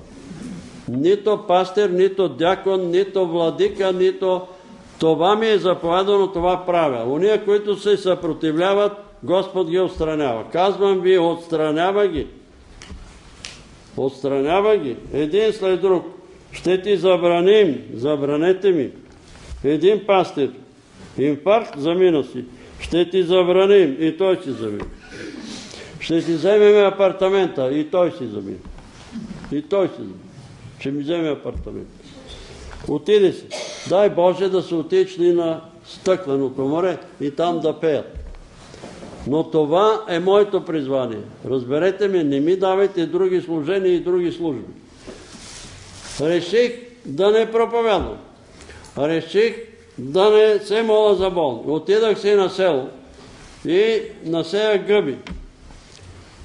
И чувам глас от небето, аз сънувам, че върва през полето едно поле, ама едно като се жито, озряло. А от другата страна полето насеяно гъби. И чувам от небето глас. Търся те да те благословя, а ти се занимаваш с гъби. И гъбите пропаднаха. Пропаднаха. Дойдоха специалисти, нали не знаеме, наивни сме. Отначало се юрна като чершапи сутрин. Не мога да ги обереме. Събирам роднини, близки да берат, не мога да събераме гъбите. За цялата година трябваше да дам 3 тона гъби. 2750 кг дадах за един месец. И като дойдоха да ме питат там от кооперацията, Петре, какво става? Ще изпълниш ли плана? И аз отговорих. Внимавайте какво съм отговорил. Няма начин да не го изпълна. На другата сутрин нямаше гъби. И за два месеца стигнах до 2 тона и 900 кг и не го изпълних. Няма начин. Няма ли начин? Няма начин. Внимавайте какво говорите. И оттам си имаме проблеми, защото вместо да прославяме Бога, ние няма начин. И как да няма начин? Е, има начин. Разбрахте ли ми? Моето, това е моето служение, това ще върша, което Господ ми каже. Утре седам и почвам да пиша книга за нашите владици. Каква е книгата, не знам, нищо не имам на представа. Обаче ще почнат да идват информации. Информация. Забелязах, че когато говореха, нали, величаят сега негово святейшество, патриарх Кирил, обаче аз сънувах сън, че патриарх Кирил преди, когато почина, 71 година, същата нощ, Господ ми даде първо видение, каза, излез вънка на двора, излезах навънка, видях едно огнено кълбо, мина над главата ми така и замина към стадион Джерена. Леге да спиш, легам да спа и виждам, че в това огнено кълбо носят един архиерей, такъв православен. Носят го дяволи. И там се отвори земята зад стадиона с крясъци, с викове, с пламъци и той потъна заедно с дяволите.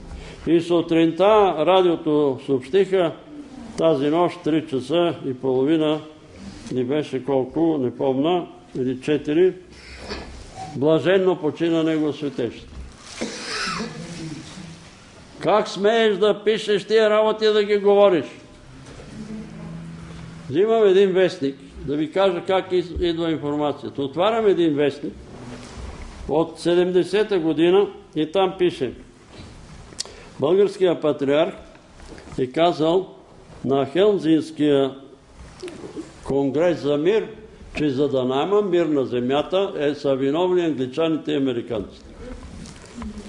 Вие така ли мислите? За да няма мир на земята са виновни кои? Нечестивите. Има ли нечестиви американци и англичани? Има.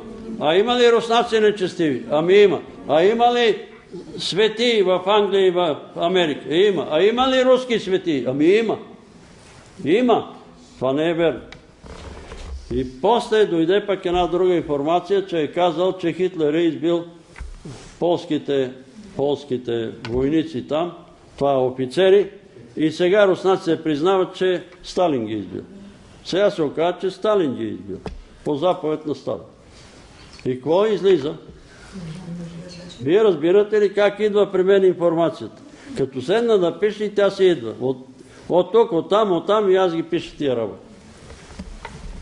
И сега ще седам и ще пиша за българските владици.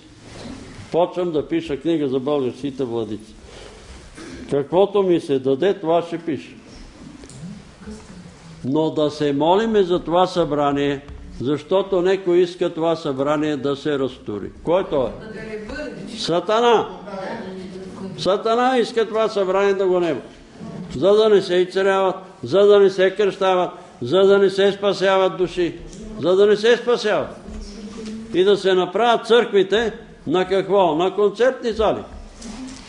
Да танцуваме вътре в залите, да пееме.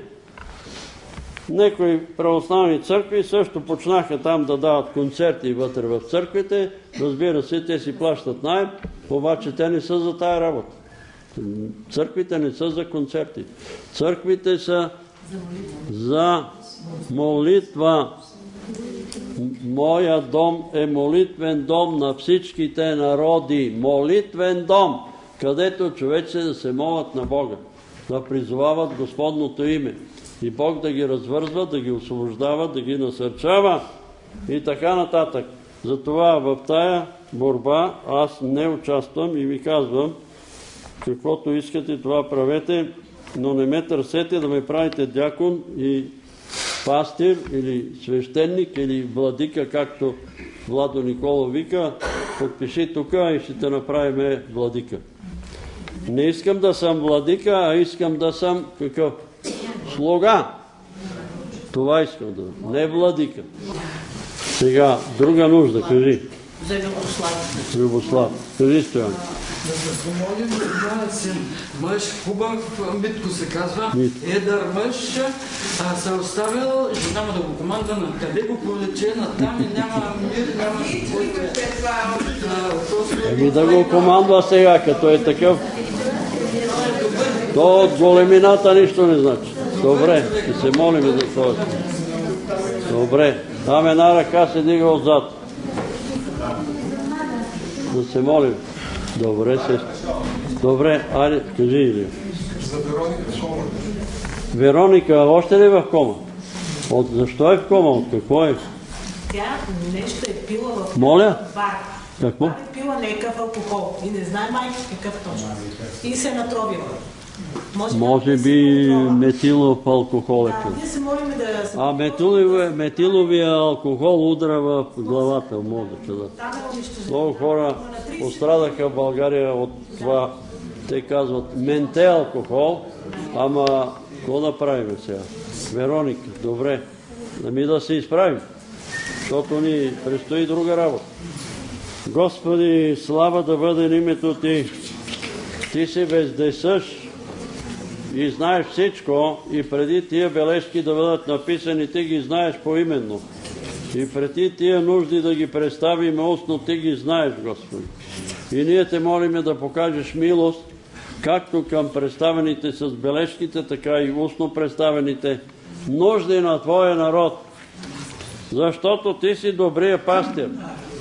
Ти си, който превръзваш. Ти си, който и царяваш. Ти си Божието Слово, което Господ го праща и то ни и царява. Ти си, който присъстваш на това събрание. Ние не те виждаме, но усещаме Твоето присъствие. И затова те молиме да ни поръсти с Твоята кръв и да ни очистиш от всяка неправда. Ние сме грешни човеци, слаби човеци, съгрешаваме. Без Тебе нищо не можем да сториме.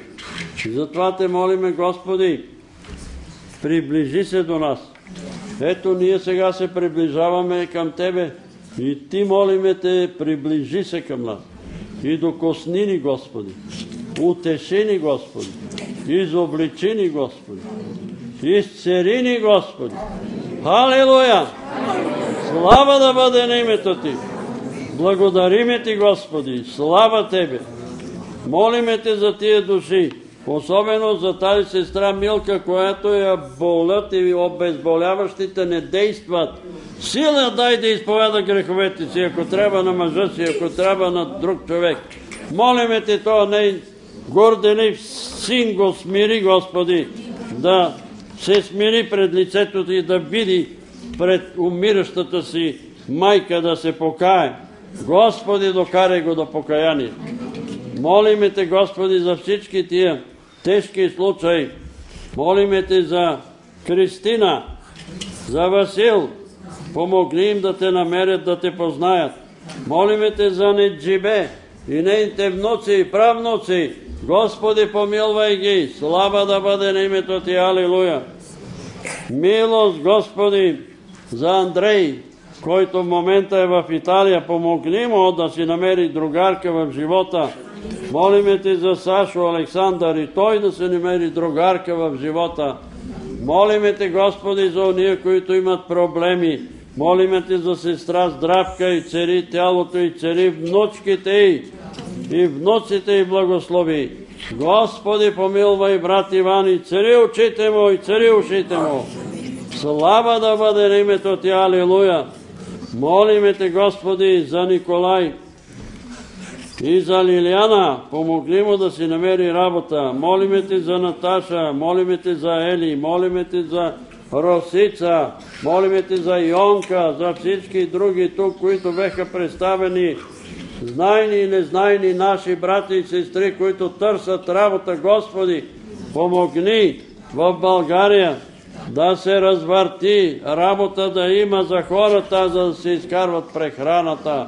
Слава Тебе, Господи, слава Тебе! Благодариме Ти, Господи, славиме Ти и Те величаеме. Молиме Те за сестра Пиданка от пещера, Господи. Някакъв огън се е запалил в тялото и лекарите нищо не могат да открият. Ние Те молиме този огън да угасне и тя да бъде изцерена и да прослави името Ти. Молиме Те за дъщеря и Богдана и тя има проблеми, цари нея. Господи, помилвай Ивана, помилвай Лиляна, Надежда, Мария и Йордан. Това семейство също благослови ги, Господи, помилвай ги. Молиме Те за сестра Сашка и сестрите, които са се събрали при тази сестра, за която лекарите казаха, че са до тука. Ние Те молиме, укрепявай здравето им, укрепвай силите им, защищавай ги, пази ги, Господи, помилвай ги, слава Тебе. Молиме Ти за нашите сънародници, пръснати по целия свят. Благослови ги там, където са. Молиме Ти за нашата мила родина България, Господи, ето и президента предлага молитва за България, за благоденствие на българския народ. Но благоденствие без вяра не се получава. И затова ние те молиме, Господи, да вразумиш нашите управници да разберат.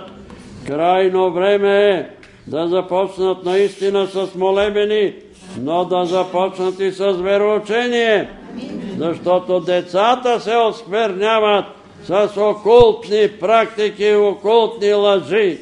Ние те молиме, Господи, да защитиш всички уния, които учат в английските гимназии, където има уроци, пълни с окултни практики и предложения на магиосници.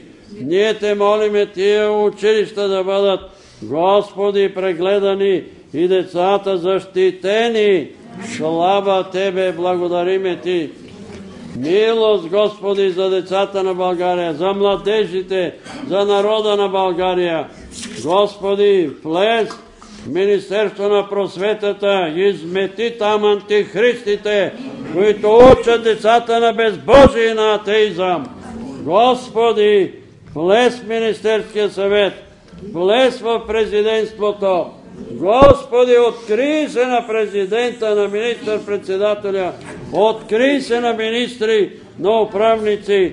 Господи, молиме Те, действай сред нашата страна, помилвай народа ни, пращай ни дъжд на време, не допускай наводнения. Молиме Те, пази ни от катастрофални земетресения. Господи, помилвай народа ни. Исусе, Сине Давидов, помилвай ни. Сега те молиме мини от глава на глава и от сърце на сърце. С Твоята проводена ръка докосни ни, помилвай ни, помилвай ни, прости ни греховете и цари телата и душите ни. Сине Давидов, помилвай ни, слава Тебе! И нека Твоята сила на и царение да премине от темето на главите ни до пръстите на ръцете и краката ни. И тая сила да ни привдигне, да ни цари. Молиме Ти за брат Коста и цари сърцето му и премахни тая болка. Слава да бъде името Ти. Милост за сестра Мария и цари крака и Господи. И цари крака Исусе.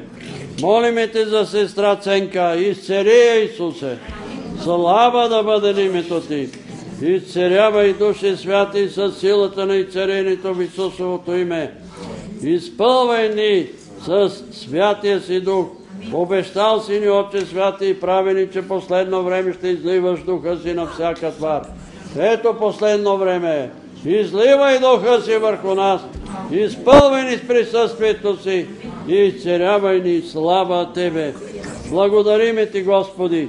Молиме Те сега, Душе Святи, в името на Господ Исус Христос, изцерявай, премахвай главоболия, изцерявай синозити, изцерявай гърла, изцерявай уши. Молиме Те за това детенце Иванчо, изцери охото му, Господи. Помилвай дечицата на България. Милост, Господи, за близки и далечни, които страдат, разяждани от различни болести. Смили се за Георги и цари Белия Мудров. Милост за Марини цари краката му. Милост, Господи, за Твоите люде. Милост за Галина и цария. Милост за Ани, Господи. Изцери сестра Ани от Паркинсона. Изцери Гале от Паркинсона. Изцери брат Георги от Паркинсон. Господи, царявай, сине Давидов, смили се за Твоя народ. Слава да бъде на името Ти, Алилуя. Благодарим Ти, че действаш България и Те молим и за напред, Господи. Разкривай кръците и разбойниците и грабителите. Разкривай грабителите и води ги към покаяние, защото Ти не искаш нито една човешка душа да умре, да погине, но всички да дойдат до покаяние. Господи Исусе, ние от сърце прощаваме на всички човеци, които са ни наранили, които са ни клеветили, които са ни навредили, Ние те молим и Ти да им простиш, Господи. Молиме Те, Господи, да се смириш над ония, които са наранени сърца, които са били наранени от близки и далечни. Утеши ги, утешители, святи душе. Докосни се до тях, изпълни ги с присъствието си. Исусе Христе, Сине Божий, ако на това място има магиосници, гадатели, врачки, окултисти, ние те молиме да ги изметеш от тук. Измети ги, Господи! Слава да бъде на името Ти, Алилуя! Слава да бъде на името Ти, слава Тебе! Молиме Те, изцерявай Исусе, черни дробове, изцерявай бъбреци, изцерявай бели дробове, изцерявай стомаси, изцерявай панкреаси, изцерявай жлъчки, изцерявай кости, изцерявай стами, изцерявай кожни заболявания, изцерявай бъбреци, изцерявай генитали, изцерявай простатни жлези. Господи, царявай народа си, слава Тебе! Молиме Те, Господи, за депресираните младежи, за депресираните човеци. Молиме Те, развързвай ги, освобождавай ги, изцерявай ги, Господи, слава Тебе! Молиме Те за тия, които са се отклонили от кошарата Ти. Привлечи ги към себе си, Господи. Помилвай ги, Господи. Там, където са, намери ги, Господи. Молиме Те за Йонка и Церия, Исусе. Сине Давидо, помилвай я. Слава Тебе. Сила и дай. Здраве и целение дай. Слава Тебе. Господи, молиме Те за тази жена Вероника, която е пила някакъв алкохол и сега е в кома. Очисти мозъка им. Очисти я и върни от смърт в живот. Върни Вероника от смърт в живот, Господи. Молиме Те за Любослав, Господи. Освободи Тоя младеж. Освободи го, Господи, за да се прослави. Името Ти. Молиме Те за Димитър, Господи, освободи го от компютърната зависимост. И много други младежи има, които са вързани с тази компютърна зависимост. Развържи ги, освободи ги. Милост за тия младежи. Милост за наркоманите. Милост за алкохолиците. Милост за проститутки. Милост, Господи, за ония, които са паднали. Повдигай ги, Господи, изправяй ги, молиме Те, слава Тебе, алилуя. Милост, милост, милост за народа ни. Милост и за управниците. Господи, предстоят избори. Ние Те молиме в тия избори да бъдат избрани хора с чисти ръце и с непорочни сърца. Всички мошеници, всички лъжци, разкривай ги, Господи! Народа да ги види и да се отврати от тях. Разкривай ги, Исусе! Слава да бъде името Ти! Алилуя! Алилуя! Алилуя! Алилуя! Слава Тебе, Господи! Слава да бъде името Ти! Благодариме Ти! Господи, след малко ще пристъпиме към възпоменание на Твоите страдания. Ще пристъпиме към Твоето тяло и Твоята кръв. Ето Ти казваш, който не яде Моето тяло и не пие Моята кръв, нема дял с мене. Тогава, Господи, людите казаха какво е това учение, кой може да го следва. Господи, слава Тебе, Твоите думи са дух и живот. И ние те молиме тия Твои думи да се вселяват дълбоко в нас. Господи, ние изповядваме пред цялата сила на врага, че вярваме и чакаме Твоето второ идване тук на тая земя. Ти. Моля Те, Господи, овие наши брати и сестри, които са излъгани, измамени, че Ти няма да дойдеш, че това е духовно възкресение. Господи, открий им се на сън в нощно видение, открий им се да видят, че идва скоро. Господи, помилвай ни. Слава Тебе, благодариме Ти. Благодариме Ти, Исусе, слава Тебе. Поклон на името Ти. Молиме Те за Стоян и Даниил. Боже, промисли за работа и освободи ги. Господи, всички тия човеци, които са без работа, са притеснени и депресирани. Ние те молиме, развързвай, освобождавай ги, насърчавай ги. Помилвай майка им Татяна. Боже, промисли за работа. Слава да бъде на името Ти. Молиме Ти за всяка нужда, вдигната тук на това място. Молиме Ти за тия бележки, до една молиме Те, прегледай ги, отговори според Твоята велика милост. Господи, има тайни молитви, които братята и сестрите тайно се молят. Моля Те и цари сестра Христина, тя представи някаква нужда. Ти я знаеш, отговори според Твоята блага воля. Молиме Те за децата на всички наши брати и сестри, синове, дъщери, които не, ги, не Те познават, които са далече от Тебе. Помилвай ги, благослови ги, Господи. Молиме Ти за нуждата на малката нора. Има някаква нужда, Господи, Ти отговори според Твоята блага милост, защото много пъти си отговарял на нас и на всички нас според Твоята милост. Но нека бъде не както ние искаме, а както е Твоята воля, Господи. Слава да бъде името Ти. Молиме Те, Господи, всяка тайна молитва, която е принесена тук на това място, Ти, който виждаш на тайно, отговори наяве и радостта на моите брата и сестри да бъде голяма. Слава Тебе! И сега желаеме всички заедно да Ти се помолиме с молитвата, с която Твоя син ни е научил, Отче святи и праведни да се молиме.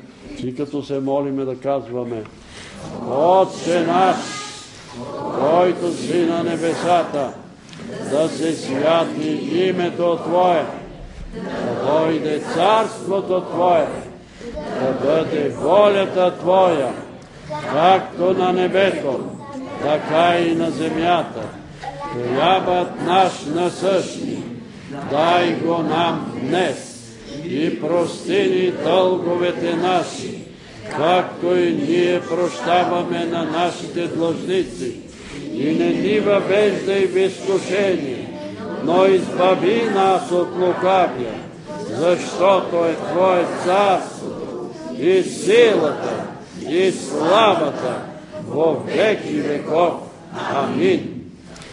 Вярвам в един Бог Отец, Вседържител, Творец на небето и земята, на всичко видимо и невидимо, един Господ Исус Христос, Сина Божия, единородния, който е роден от Отца, преди всички векове, светлина от светлина, Бог истинен от Бог истинен, роден, несътворен, единосъщен с Отца, и чрез когото всичко е станало, който заради нас човеците и заради нашето спасение слезе от небесата и се въплатило Дух Святание и Дева Мария и стана човек. И раснат за нас при Понтия Пилата и страда и бе погребан и възкръсна третия ден според Писанията и се възнесе на небесата и седи отдясно на Отца и пак ще дойде със слава да съди живи и мъртви и царството му ще има край. И в Духа Света Господа, животворящия, който от Отца изхожда, комуто се покланяме и го славиме, наравно с Отца Сина, и който е говорил чрез пророците. Една свята, вселенска и апостолска църква, изповядваме едно кръщение за опрощаване на греховете. Чакам възкресението на мъртвите и живот в бъдещия век. Амин. Така, може да седнете, ако има видения. Времето на Отче наш молитвата виждам някакъв танк, последен модел и така ми една мисъл, как ли може този танк да бъде сразен? Че не може? Ама танка от наша страна ли е или срещу Не нас? виждам танк такъв, някакъв тия последните модели, без никакви знаци по него. Ами скрийте се зад Словото Божие. Застанете зад Божиите обещания. Едни казват, че имало 7000 обещания, други казват, че имало 37 000 обещания. Застанете за тези обещания, скрийте се, бронирайте се и не бойте се. На 450 места пише Библията, не бой се, не бой се. Уповай на Бога и Господ ще изпълни намерението. Добре, друг има ли някой? някой друг?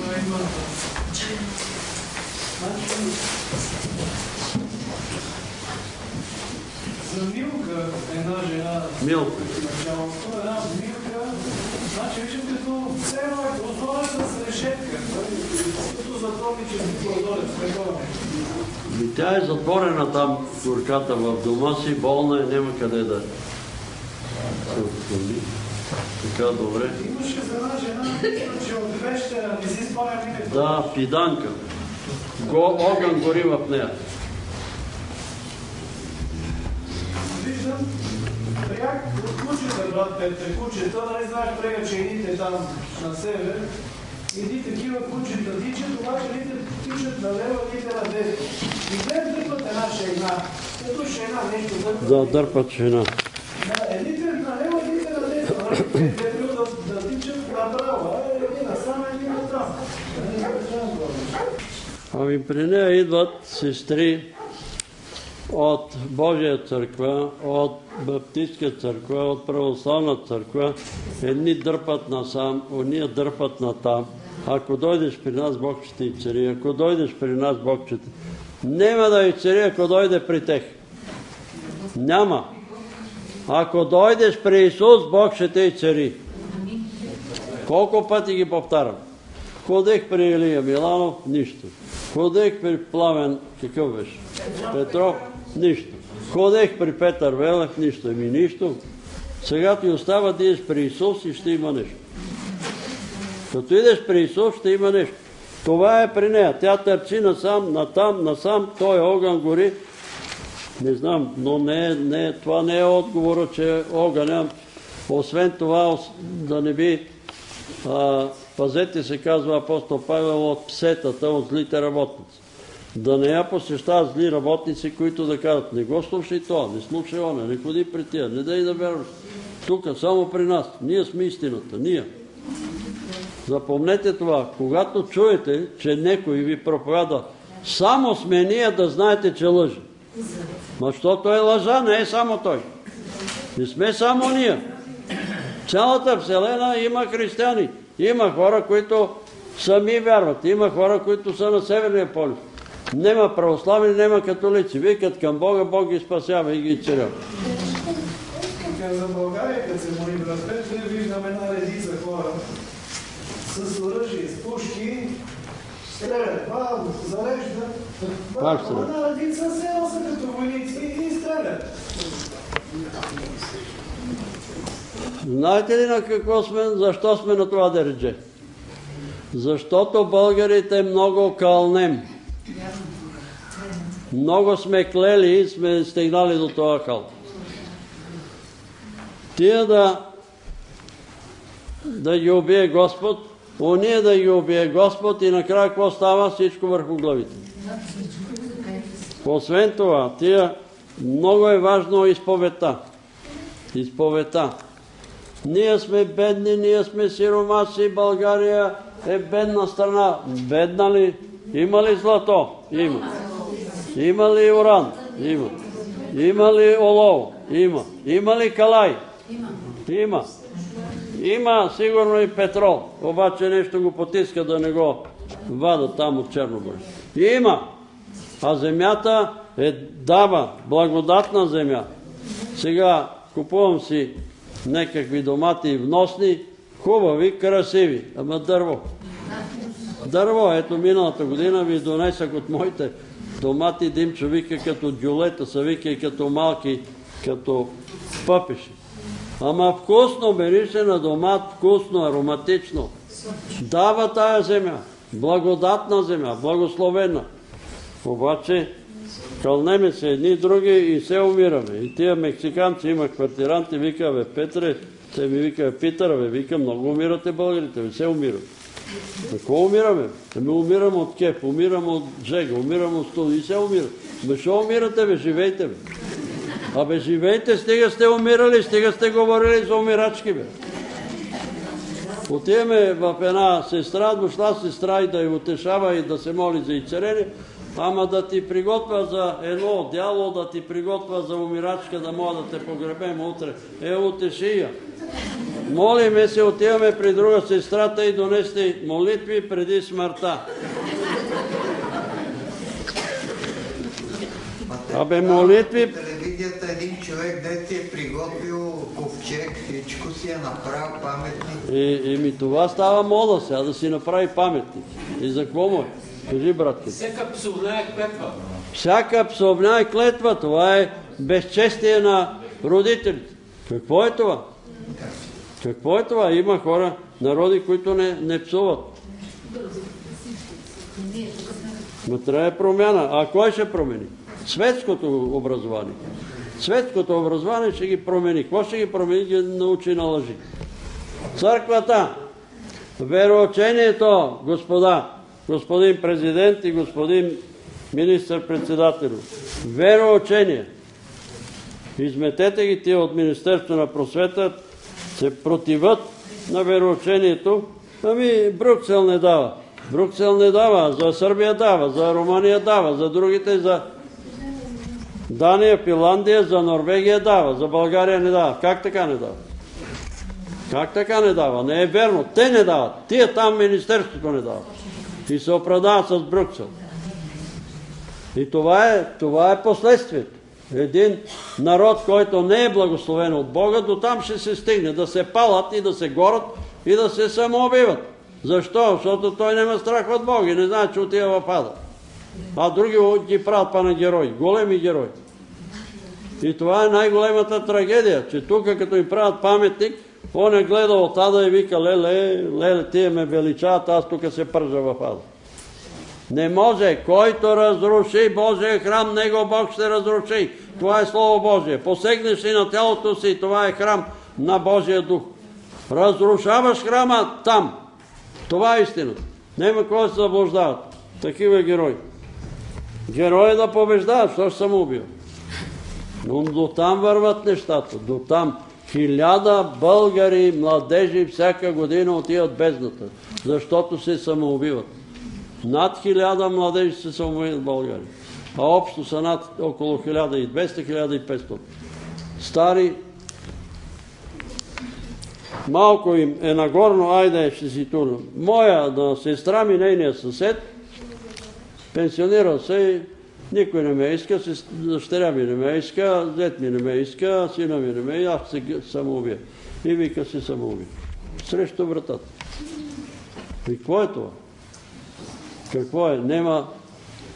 Защо се самоубият? Защото ги гони съвестта. Гони ги съвестта. Нема защо да криеме.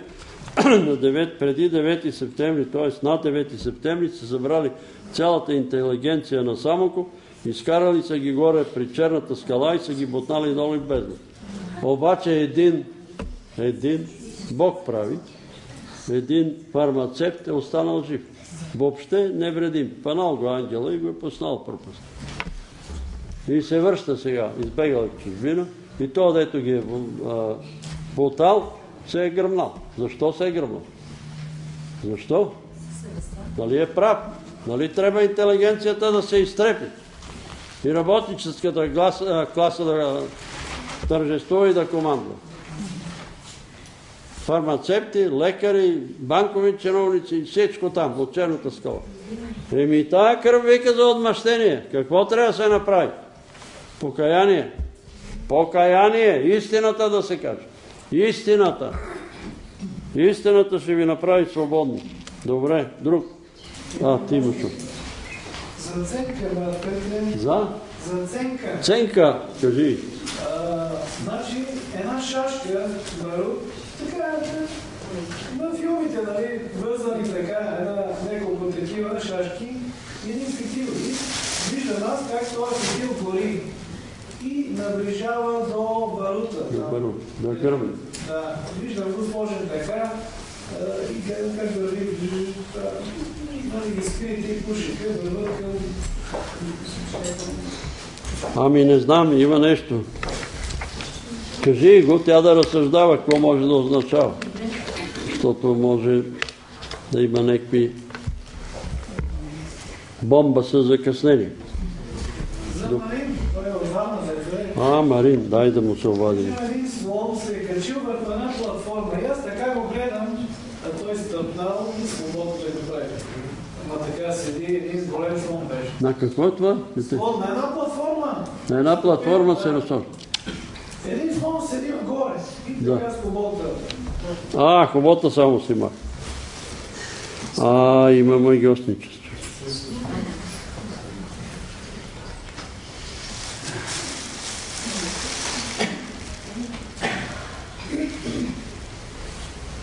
Има много хора, които вярват и си подаряват слончета, че слоновете носят парички и благословения. Това е идолопоклонство. Идолопоклонство. Други, интелигенция. Куват си там на вратата, едни по-рано си слагаха конски и магарешки подкови. Къде е водило магарето и там на вратата. За кое да му дойде щастие. Сега слагат Буда. Един дебел Буда, такъв, продават ги и ги закуват там. Буда носел парички на семейство. Идолопоклонство. Модерно идолопоклонство. Да чуят тия, които са си наслагали тия Буда. За Йонка е малко притеснително. Сега, не знам, виждам един пилон. И едно знаме се дига нагоре. И Да. аз гледам, обаче знамето е като пиратството, череп и кости, черно знаме. В началото не го виждам и така гледам, викам, а, бе, това е пиратството знаме. Нагоре се издига към върха на пилона. Еми, няма какво да е не, по- непритеснително. Тая там сатанистката, как се казваше нейната? Моля? Отдавна тя не поддържа връзка с нея още. Ама тя отдавна, ама ти мисли, че е отдавна. А ако тя държи връзка с нея, ма издига пиратско знаме. Ами не от нея, от друг. То е знаме на сатанистите. Може да е от някой друг, но тя... Освен това, искам да ти кажа, че тия нейни приятели, някой от тях може да е масонска ложа, череп и кости. Ето го знаме. Ами, Череп и кости е тоя Буш ли беше? Какъв беше там? Те си казват, масонска ложа, череп и кости. И тя се, да не се е заплела, кажи го, тя да, да си мисли, вика притеснително. Няма притеснително. Щом се дава нещо, казваш го. Но не притеснителното е за Йонка. Ами за нея за Йонка да се свещява и да се опомни, защото си мисли, еми тия са много добри, тия ни помагат, тия ни дават. Еми ето тук дойдоха при мормоните ходили, ми те ни дават обед, еми те ни дават вечера и накрая, като закъхцаха на никъде. Така, друго. И за дрехите, да виждам веригата на една такава верижна машина. Сега багер ли е? Багер ли е нещо? Веригата виждам така машина. Сега. Работи се върху дрехите, се работи, вярвайте, приемете ги. Цвети имаш ли някакъв? Да. От фиданка, един метър варига, нещо като За кой? Фиданка. Това беше Иван. Фиданка. Това, фиданки. Какво верига? Ами метър във въздуха нещо виси, варига синджир, позлатено. А, синджир, връзване. Позлатено. А, позлатено. Така, друго. Когато се мол- молеше за изцеление на различни болести тук в залата, се виждат черни влечуги, като змии, които излизат през прозореца и направо през стената отстъпват. Голема част от болестите са какво? Духове. Духове. И сега масово се води война против това, че некои говориме, че са духове. Немало духове. Как че има духове в църквите? Нема. И как да нема? И как да нема дявола дойде до Исус Христос и почна да го изкушава, Него, Божия син, та мене ли, та тебе ли, нема да ти изкушава лукави. Излизат и да се махат. Когато се молеше за окултисти, ако има в залата магиосници, Да, да, магиосници да ги измете. един голям змей с отворена уста и пламъци. Брат Петре, и аз имах едно забравих, не съм записал. Значи, като се моли, а, чуят вътре едни като паяци, ен паяк и в същото време като рак, нали, мъчели. Да, И лазат така, лазат така. А вижте какво, има такива хора. Те не могат сами да се освободят, но трябва да се покаят. Ние не сме против тях, но това видение е искрено. Един змей отворил устата си и там ще отидат всички магиосници. Защото аз усещам, когато ми пречат в молитвата, пречат ми и когато говоря. Има хора, които тук кълнат с обратни молитви. Ние се молиме този човек да оздравее, он е там вика да умре. Тия хора ще се събудат в ада.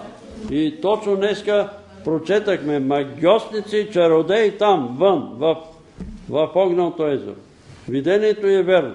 Е, той е демон и ще ги нагълта. Те си мислят, че служат на Бога. Екстрасенсите мислят, че служат на Бога. Говорят там за енергии, за не знам какви биотокове. Никакви енергии, всичко е лъжа. Има енергия, която е от Бога и енергия, която е от дявола. Техните енергии са фалшиви. Ако има такива да се покаят, защото в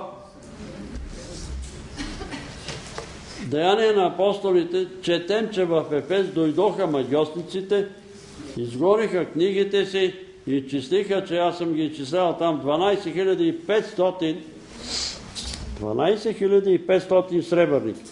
А знаете, че Юда предаде Исус за 30 сребърника.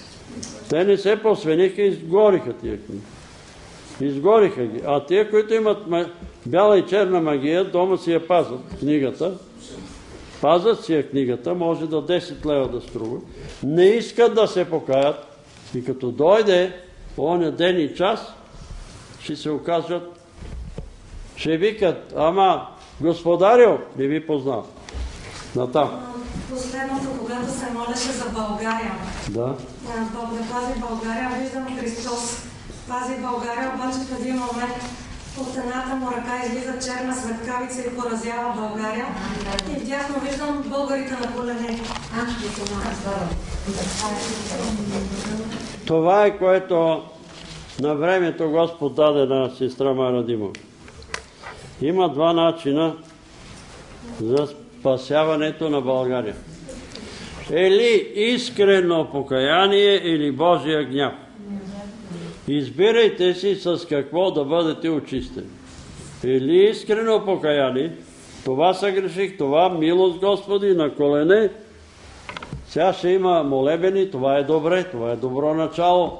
Ма на тия молебени ще се съберат хора там на групички, пушат цигари, ще си говорят и там свещеника ще прави молебен. Е това, което каза Светелина. На колене, пред Бога, тогава ще има резултат. Кажи. В началото на молитвата на Амвона един владика явно се моли с официални одежди, като за тържествено богослужение. За Йолка, като се моли, Запомни. Вижда се една тучна зелена ливада. Тя стои на ливадата и до нея има от тези пръскачките за вода, пръска вода и напоява ливадата.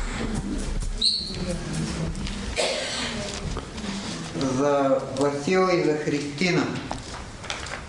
В далечината една лодка, такава подобна на тия спортните канута, двама души вътре, гребът с гребла. Домашна църква, домашна ти, за от теб зависи. Василе, дай да прочетеш малко от тук.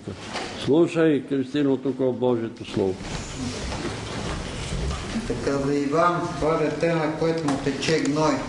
Да, Значи проблесна една светлина и после се казва изповед. Явно родители, роднини трябва да се изповядат. Ами изповед. Така. Дялото трябва да се изповяда и да престане с тия магиосници, врачки, ходите му баят нещо и той нещо върти там некъв. Не знам какво върти, той е в ада, он е в рая, пита духа. Бе не го пите, бе, той ще излъже. Запомнете го това. Бог дава информация, а дявола дезинформация. Може да ви каже 10 истини, за да ви излъже 11-та лъжа. Да я глътнете лъжата. За фиданка. Значи при първото споменаване чувам непослушание, а при второто ми мина следната мисъл. Ако не се покае, ще изгори в огъня. Кажи за Милка. Помните. Така, за Милка. Значи първо падна една плътна завеса пред сцена. Такава сцена на театър или някъде другаде. А после завесата се смени все така прозрачна. Ами дай Боже Господ да прати светлина там. Да й даде сила. Но за Пиданка искам да ви кажа, че тя е била смутена, била е, ходила е 20 години в 50-ната църква, после дошли адвентисти и си казали, че това кръщение със Святия Дух не е от Бога, че тя не пази съботата и няма да бъде спасена и се е заквасила и съдбентното учение. Внимавайте какво приемате и какви хора приемате в домовете си, защото Исус казва на юдеите, Исус казва и на адвентистите, никой от вас не пази закона. Чувате ли? Исус го казва, не Петър Веле.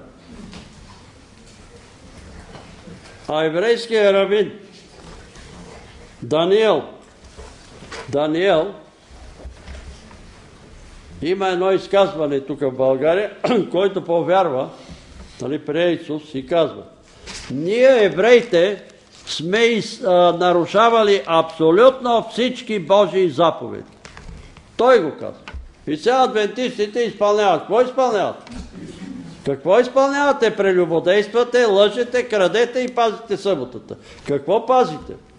И ходите по домовете и такива хора ги забъркват. Да пази сега съботата в Иданка и докъде ще опази? Ето докъде ще опази. Това не е от Бога, това е от дявола. Откъде знаете, че е от дявола? Исус казва, че е от Бога, вие казвате, че е от дявола. Йоанна 6 глава, прочетете, там ще видите. Исус казва, никой от вас не изпълнява закона. Той ги обвинява евреите. А ние, ние пазиме. Какво пазите? Какво пазите? Аз съм, аз съм ми казвал, 630 неща трябва да изпълниш и тия пилактериите са ги написали 630 неща, тия фундаменталистите, които трябва да изпълниш. 630. Днеска ти не може да ги преброиш. И само едно искам да им кажа на тия адвентисти, дето са отишли и са забъркали ума на пиданки. Ако сина ти или слугата ти не изпълнява за съботата, трябва да го занесеш на края на града и твоята ръка да бъде първа и да хвърлиш камък и да бъде убит с камък. Кой адвентист е завел синя там, понеже ни не пази събота? Какво изпълнява? И тия, които ви карат да се образвате, пише апостол Павел, и те не изпълняват закон. И те не изпълняват закон. Ама ви карат да се образвате, за да се хвалят с вас. Това правят. Освен това, писано е. Един пази един ден, втори пази друг ден. За, за трети всички дни са еднакви. Бог приема един и друг. Приема един и други. Какво има да се умува? Ако не пазиш съботата, дай оброк сега, че от утре почнеш да пазиш събота. Какво ще пази? Тя е на легло, не може да живее, да ходи. Какви са тия благовестители? Какви са? Какво проповядват? Лъжи. Папата е личността антихрист. Това е лъжа. Всички лъжци ще бъдат в огнен той звук. Добре, давай до там. Така. За Сашо, този, който търси съпруга. Виждам го, че галопира на кон. Язди кон в галоп. Ами сила, взимай сила от Бога. Коня е, нали знаете, че машините се колите в конски сили. Се измерва. За президента. Мина ми такава мисъл. Трябва да пожертва богатството си. О! Панчо, ти.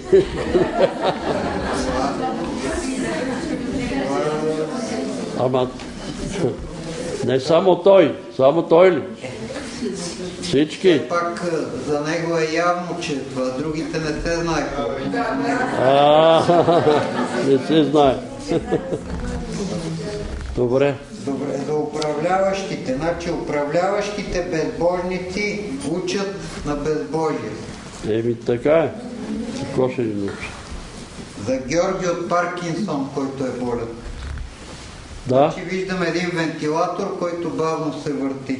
Не е с бързи обороти, а много бавно. Бавно. По-скоро е спрял. Дай Боже да се оправи човек. Той е на възраст, ама 88 години не са малко. Добре, натам. Врачки за баячки се казва, портите адови няма да наделят на църквата. Няма да успеят, те ще си чупат главите. Жалко е, ако не се покаят. Жалко. За тях. Молитва за изцеление.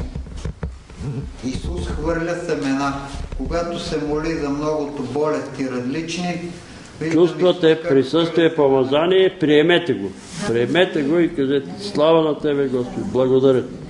Добре, друг. Така да е Любослав. Любослав. Бях на родителите. Така. И нещо, което ме нуди да много пъти да го кажа, че тук в църквата малко се молиме, трябва повече да се молим. По-дълги молитви, защото и тази молитва дори е къса, която сега имаме Господна трапеза, но много пъти ми се е За дало днеска да, ще има повече молитви, но за другите. и за дрехите. Дава ми се песента, аз имам чудна благодат. Господ дава благодат за дрехите. Сега това събрание е молитвено събрание за нуждите на Божия народ. Повтарям го това, защото тук ни обвиняват, че ние сме друго учение, че ние сме друго. Ние няма да следваме там доктрините на различни деноминации. Ние се събираме за нуждите на Божия народ. И заповедта, което преди малко ви говорих, към мене беше. Господи, как да проповядвам? Наред от първа глава на Матея до 22 на Откровение. Наред няма да прескачат. И това ние правим с брат Количев и аз.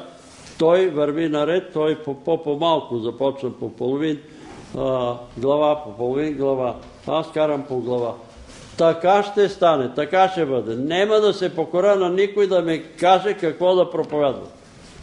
Нема да се съгласа с тия американци там и от Канада, ела тук в Америка да говориш против католици.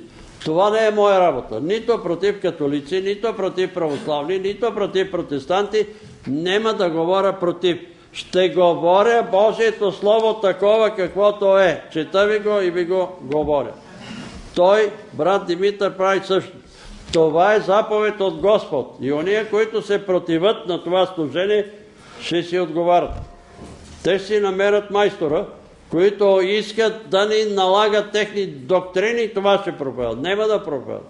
Ще проповядваме това, което пише в Евангелието, което пише в Библията. Това е истината. Другите човешки учения малко ме вълнуват и ще ги изобличаваме, защото забъркват главите. Ето сега пиданка са и объркали. Идват от 50-та и това ще прави. Идват адвентисти, това ще пазиш. Идва православни, това ще пазиш. Това и, и тя в главата и е така. Взимаш Евангелието, казваш на дъщерята, изгони ги тия всичките и почваш да се молиш и тогава ще дойде резултат. Тогава ще дойде.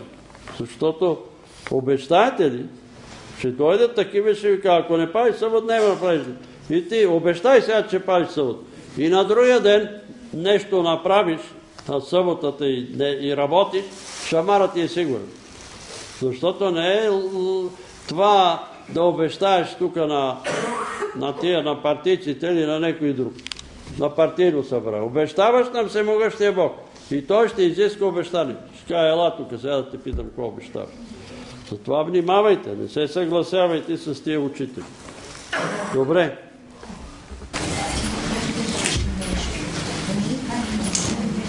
Да дадем слава на Бога. Много се радвам, че сме заедно да се поклоним нашия Бог и да си спомним за Неговите страдания. Продължаваме нашите размишления. Посланието на апостол Павел към Ефесяните, глава 4, от 17 стих до края.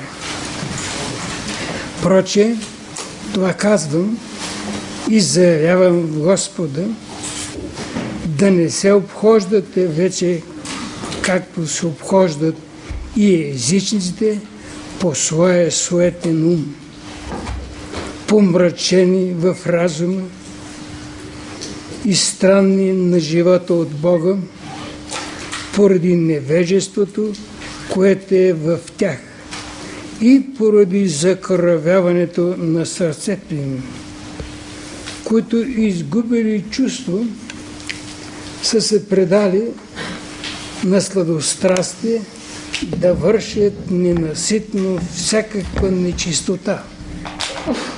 Но вие не сте така познали Христа. Понеже сте чули и сте научени от Него, което е истината в Исус.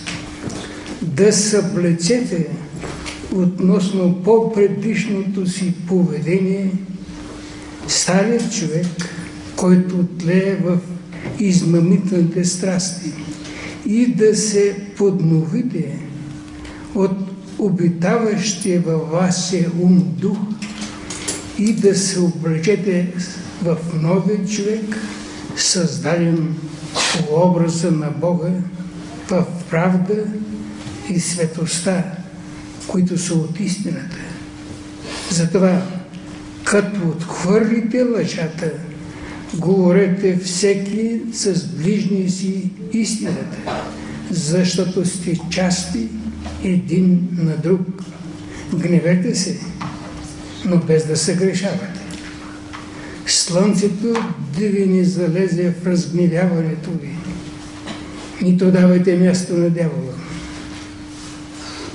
който е крал да не краде вече, а по-добре да се труди, като върши с ръцете си нещо полезно, за да има да отделя и на този, който е в нужда.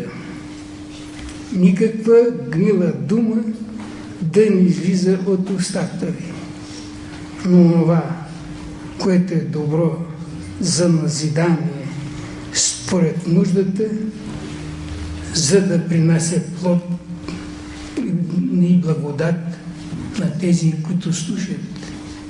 И не оскърбявайте Святия Дух, когато сте запечатани за деня на изкуплението всякакво огорчение, ярост, гняв, викане и хулене, заедно с всяка злоба, да се махне от вас. А бивайте един към друг, благи, милосърдни, прощавайте си един на друг, както и Бог в Христа е простил на вас. Амин. Баща Небесен, благодарим Ти за Словото, което си ни дал да се получаваме от Него. Молим Ти, Отче благи, Ти да ръководиш нашите размислене чрез Святия си Дух за да разбираме онова, което ни казваш чрез Словото си и това, което научим, да го прилагаме в нашия живот. Най-сърдечно сме ти благодарни за Господ Исус Христос, Твой възлюбен Син, който ти изпрати да страда и умре за греховете и престъплените. Да умре заради нас на Голготският кръст, проля кръвта си за нашите грехове престъпления, а възкръсна за нашето оправдание, възнесе в слава и се радове И ни ти благодарим, че благи за Твоята безгръчна бащен любов. И сега те се молим да изчисти съртата на всяка нечистота от всичко това, което пречи за пълната изява на Твоята благодат, на Твоята благост, на Твоята милост. И ти се молим, Отче благи, да не дадеш видение за това, което вършиш в този свят и това, което ние трябва да вършим на нашето време, чрез Твоята благодат и силата на Духът Ти. Моля би се да изчисти сърцата ни от всичко, което пречи. Ние желаем да си изпълним за смъртта и страданията на Твоя възлюбен син. И затова не ти се молим да изчисти сърцата ни. Съжаляваме за всичко, което сме вършили в нашия живот, а Ти не одобряваш. Молим се чрез силата на Святи Дух. И тази скъпоценна кръв от Твоя възлюбен син на Голготският кръст да покриш греховете ни, да изчистиш душите ни и да ни изпълниш с Твоята любов и силата на Святия Дух, да през останалите дни на нашия живот. Всичко, което вършим, да бъде за прослава на Твоето име и да не дадеш мъдростта и силата докато си чрез нашия живот да изявим това чудно спасение, което си извършва чрез Твой възлюбен син и животът ти да бъде на свидетелство, че ти си ни извлекал от тинята на грехът, че си ни поставил в Твоето царство. И ни желаем да прославим името на Твоя възлюбен син. И затова ни се нуждаем от Твоето ръководство и от Твоята сила и от Твоята благодат. Благословени според Твоята милост. Ти знаеш нуждите на светиите си, пред Тебе е всичко открито, не оставяме проблемите си, нуждите пред Твоя благодатен престол и Ти се молим, Отче благи. Ти да разрешиш всичко, което ще бъде за прослава на Твоето име и да дадеш сила на небушните, здраве на болните и Твоята благодат да ни ръководи в нашия живот и всичко, което вършим, всичко, което говорим, да бъде за слава на Господ Исус Христос. Благодарим Ти за всичко. Слава на Ти. Амин. Сега. От тогава апостол Павел започва да дава съвети на вярващите в църквата в Ефес, а това ще рече и на нас самите. Защото ние сме част от неговата църква. И той казва какво да правим. Изложи, че всички вярващи са изпълвани с си. Господ ни е очистил, но Той иска да бъдем ново създание в Христос Исус и ни дава един практически пример какво да правим. Да оставим животът, в който сме живели до тогава, когато сме били Господ Исус Христос. До тук е един начин на живот. От тук обаче започва съвсем друг начин на живот. Защото този начин на живот е резултат вече от действието на Святия Божий Дух. От, отхвърлете, казва лъжата. Отхвърлете лъжата. На мен първо място заповеда лъжата. Защото с тази лъжа, която беше подмамен, човекът започна шествието на грехът в земя, на земята и между човеците. Произходът на лъжата е от дявола. И затова първото нещо, което апостол от съвета казва, оставете, отхвърлете лъжата от себе си. Същото, който си служи с лъжа, прославя дявола. И Христос определя, че Той е източник на лъжата. Той е баща, казва на лъжата. Когато говори лъжа от своето говори, защото е лъжец и баща на лъжата. Това е характеристиката, която Христос дава на дявола. Божието Слово е много економично и много рядко дава характер на личности. В Новия Завет имаме дадени от Христос само на три личности характеристиката. Едната характеристика е на дявола, който е чува. Лъжец, баща на лъжата, постоянно говори лъжа. Другата характеристика Христос дава на Йоанн Кръстител. Няма по-голямо от него роден от жена.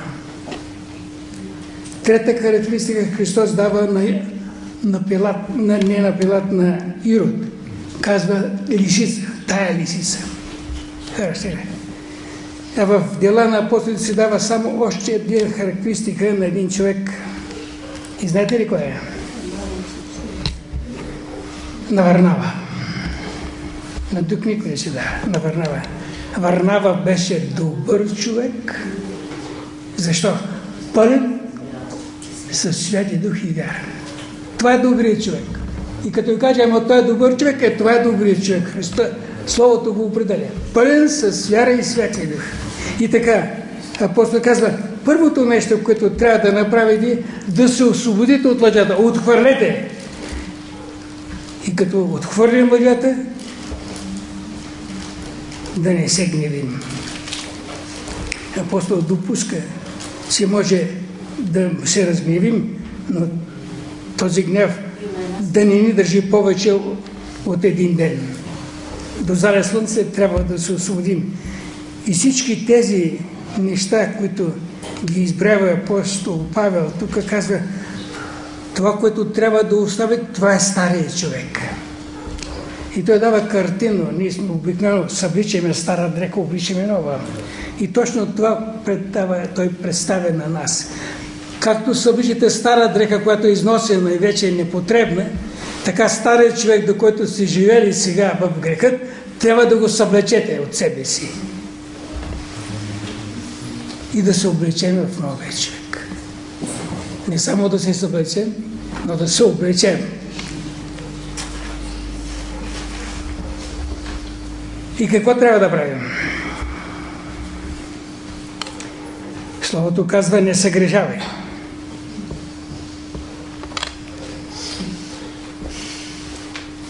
А от друга страна апостол Яков казва, ма ние всички грешим. Как да разбираме нещата? Не съгрешавам, а и също времено грешим.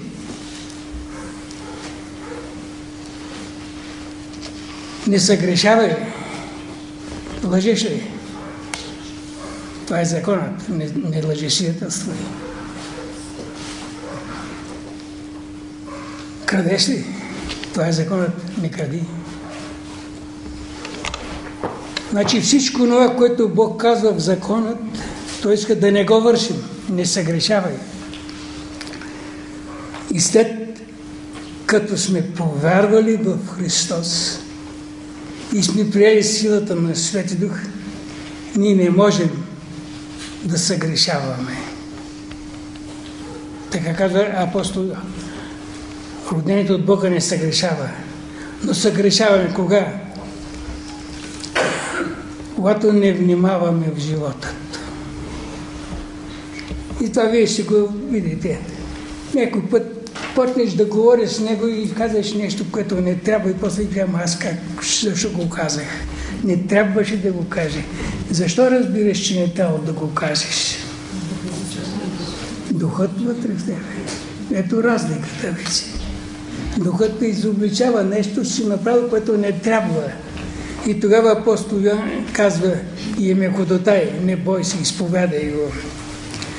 Но той иска да, да не съгрешаваме, да не даваме място на дявола. Вижте, това, това се отнася към вярващия. Апостол Павел пише посланието към църквата в Ефес, а това ще рече, че ще пише на, на начин писано. Да не даваме място на дявола. Ма нали сме вярващи? Как ще стане? Значи като вършим това, което Бог забранява. Или не вършим. Защото ама аз вика не се грешавам. Добре, ама като не правиш нищо. Защото нещата се гледат от двете страни. Апостол Павел на едно място каза, който е, че всичко това, което вършим не от убеждение и грях. Но на друго място се казва, който знае да прави добро и не го прави, пак се грешава. Така че, ама аз не правя нищо и не правиш нищо, можеш да правиш добро. А като го не правиш, се грешаваш. Защо? Защото представяш грешна представа на, за християнина в този свят. Той вика, не прави нищо. Не? А Господ иска да вършим добро. Именно това е тая притча, която Христос каза за тази, че той е, че той е лозата, ние сме пръчките, но лозарът е Бог Отец, а той чисти пръчки, които не дават плод. Защо ги чисти? Защото ще представят грешна представа за лозата. Лозата е Христос. И пръчка, която е на лозата, трябва да дава плод. А щом не дава плод, за каква тя не е пръчка? Защото ако сте раснали в лозарски център, идва един момент, когато откъде е лозата, къде е пръчката, вече не се различава. Именно този момент е фатален. И затова а, се чисти тази пръчка, която не дава, да не дава фалшива представа за лозата. И точно това казва апостол тук. Не давай място на дявола. Действай според Божията благодат.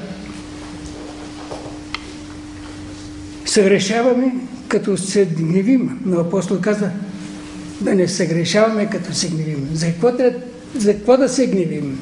Кога не съгрешаваме, като се гневим? Когато изобличаваме грешникът. Когато нещо се прави което и се, и се говори против Христос и ти с гневен, с гневен глас го отвърляш и изобличаваш човекът. Тогава не се грешаваш. Но когато се гневиш, че брат ти е направил нещо, тогава се грешаваш. Но понеже е в естеството на човека да върши това, апостолът казва, добре, разлива се, ама до, до, до вечера трябва да го изчистиш. Как ще го изчистим? Като го изповядаме пред Бога. И той ще го очисти. Затова каза, до зале слънце може да седиш възгневено. След това вече не трябва да оставяш същото състояние. Защо? Защо възпрепятстваш действието на духа. Той не може да действа. И затова апостол продължава. Никаква гнила дума да не излиза от устата. Никаква гнила дума. Има едно предупреждение, което Христос казва – по думите си ще бъдеш съден и по думите си ще бъдеш оправдан. Значи внимавайте какво говорите. По думите. Христос го казва.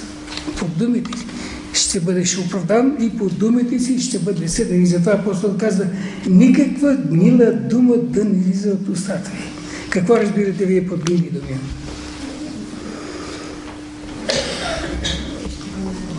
Клетви, мръсни думи, пошли, сега е модерно да се разправят вицове и, и Въпросът е, че в тези вицове се вмъкват все повече и повече мръсните от състояние на човешкото грешно естество. Подигравки, клюки, всичко това. Знаеш как съм си изразмия? Защо го Господ забранява това? Като го изговорим, ние го изговорим чрез действието на нашия ум. Защото умът контролира всичко това, което ние вършим. И това нещо умърсява и умът ни. А умърсява и телото ни. Защото устата е тел, е, телесен орган. Умърсява и езикът ни. И тогава ставаме самите ние мръсни. А ще смятаме за чисти. И затова никаква гнила дума да не излиза от устата. И какво да правим? Говоренето да бъде такова, че да допринася за изграждането. Тук казва назидание. Именно назидание е изграждане на дом, изграждане на църквата. Това си има смисъл. Това е смисъл употребява апостол. Нашето говорене да служи за изграждане на вярващите в църквата. Не да разправяме каквото е било и какво не било, а, това, което говорим, да изгражда, т.е. да подпомага растенето в вярата на всеки един от нас. Това е съветът, който дава апостол Павел. И тогава нашето говорене да бъде с благодат, подправено с сол. За да може да служи за изграждане вярата на светиите.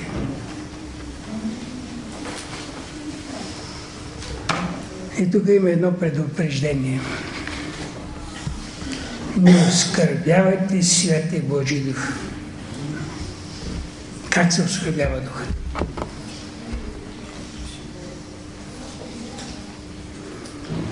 Вършение нещо, което Бог не, не позволява.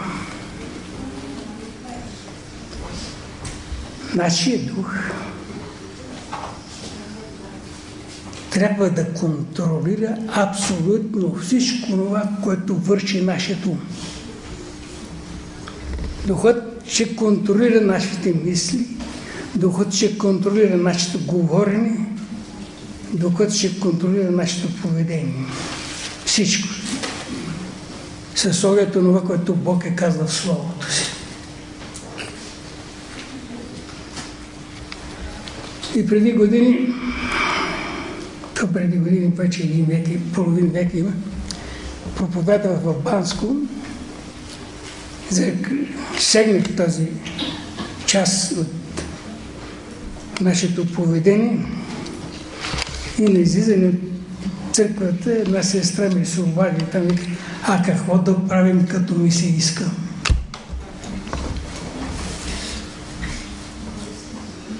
И аз си цитирах този стих от Божието Слово. То фактически го дава апостол Павел в посланието към коринтяните, първото послание, 9 глава. Той говори за това състояние, което се получава, когато човекът живее в този свят – и общува. И тук той казва следното. Като превежда, апостол Павел обича да превежда много примери от атлетиката. Бягане, тичане, битка, борба. И казва,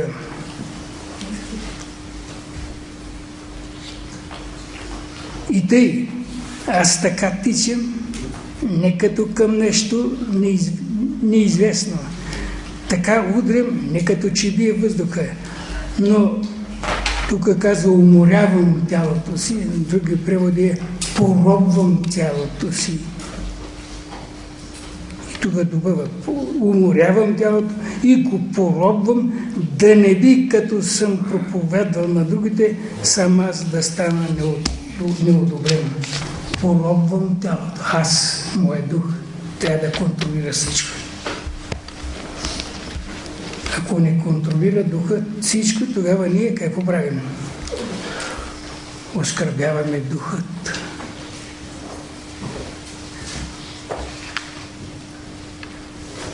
И тогава, понеже не контролираме себе си, защото трябва да вършим Божията воля, ние изяваме непокорство към Божието Слово. А тогава оскърбяваме духът.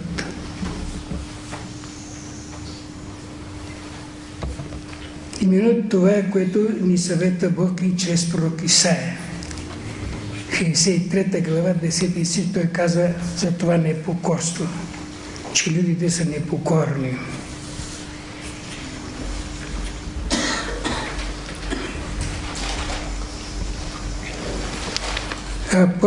Пророк Исаия Езекил 16 глава 43 стих говори, че огорчаваме.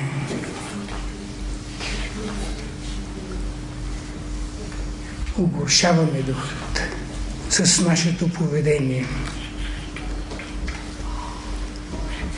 И тогава какво да правим? В заключение апостолът казва да бъдем като Господ Исус Христос. Казва, всякаква, всякаква горчивина, огорчение, гняв, хула, злоба, всичко това да се отхвърли. Как ще го отхвърлим?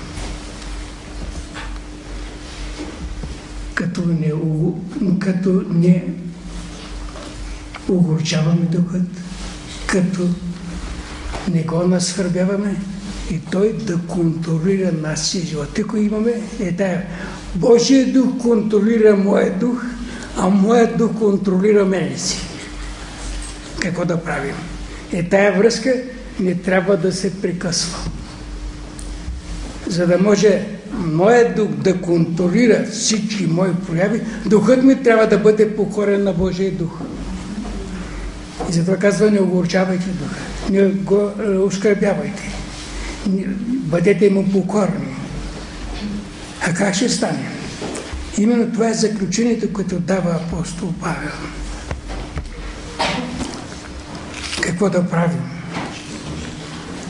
Защо иска той от нас?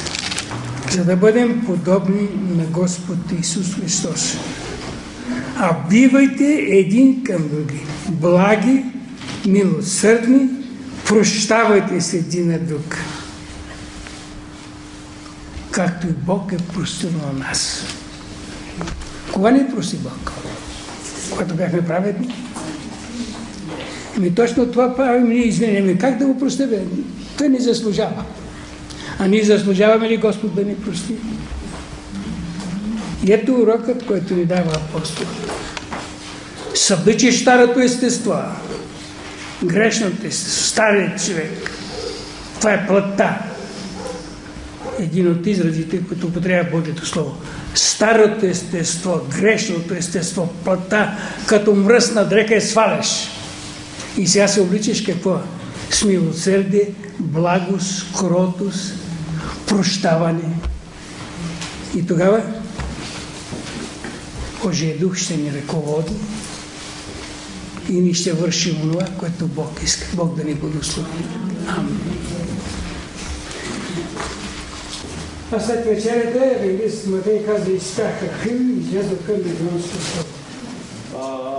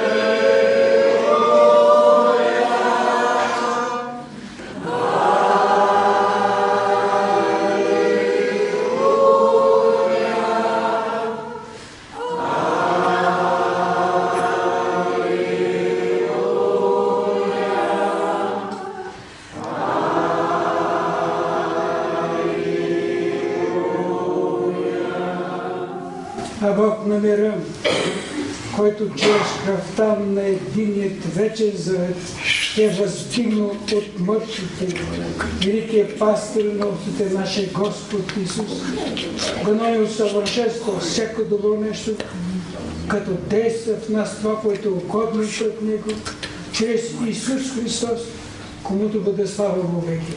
И сега благодатта на нашия Господ Исус Христос, любовта на Бога Отца, общението и ръководството на Святия Дух, един Бог в три лица, да бъде с всички нас, с домовете ни, с седателите, с църквата си на това място, с църквата си в цялата наша страна, цялата Христова тръка по цели си.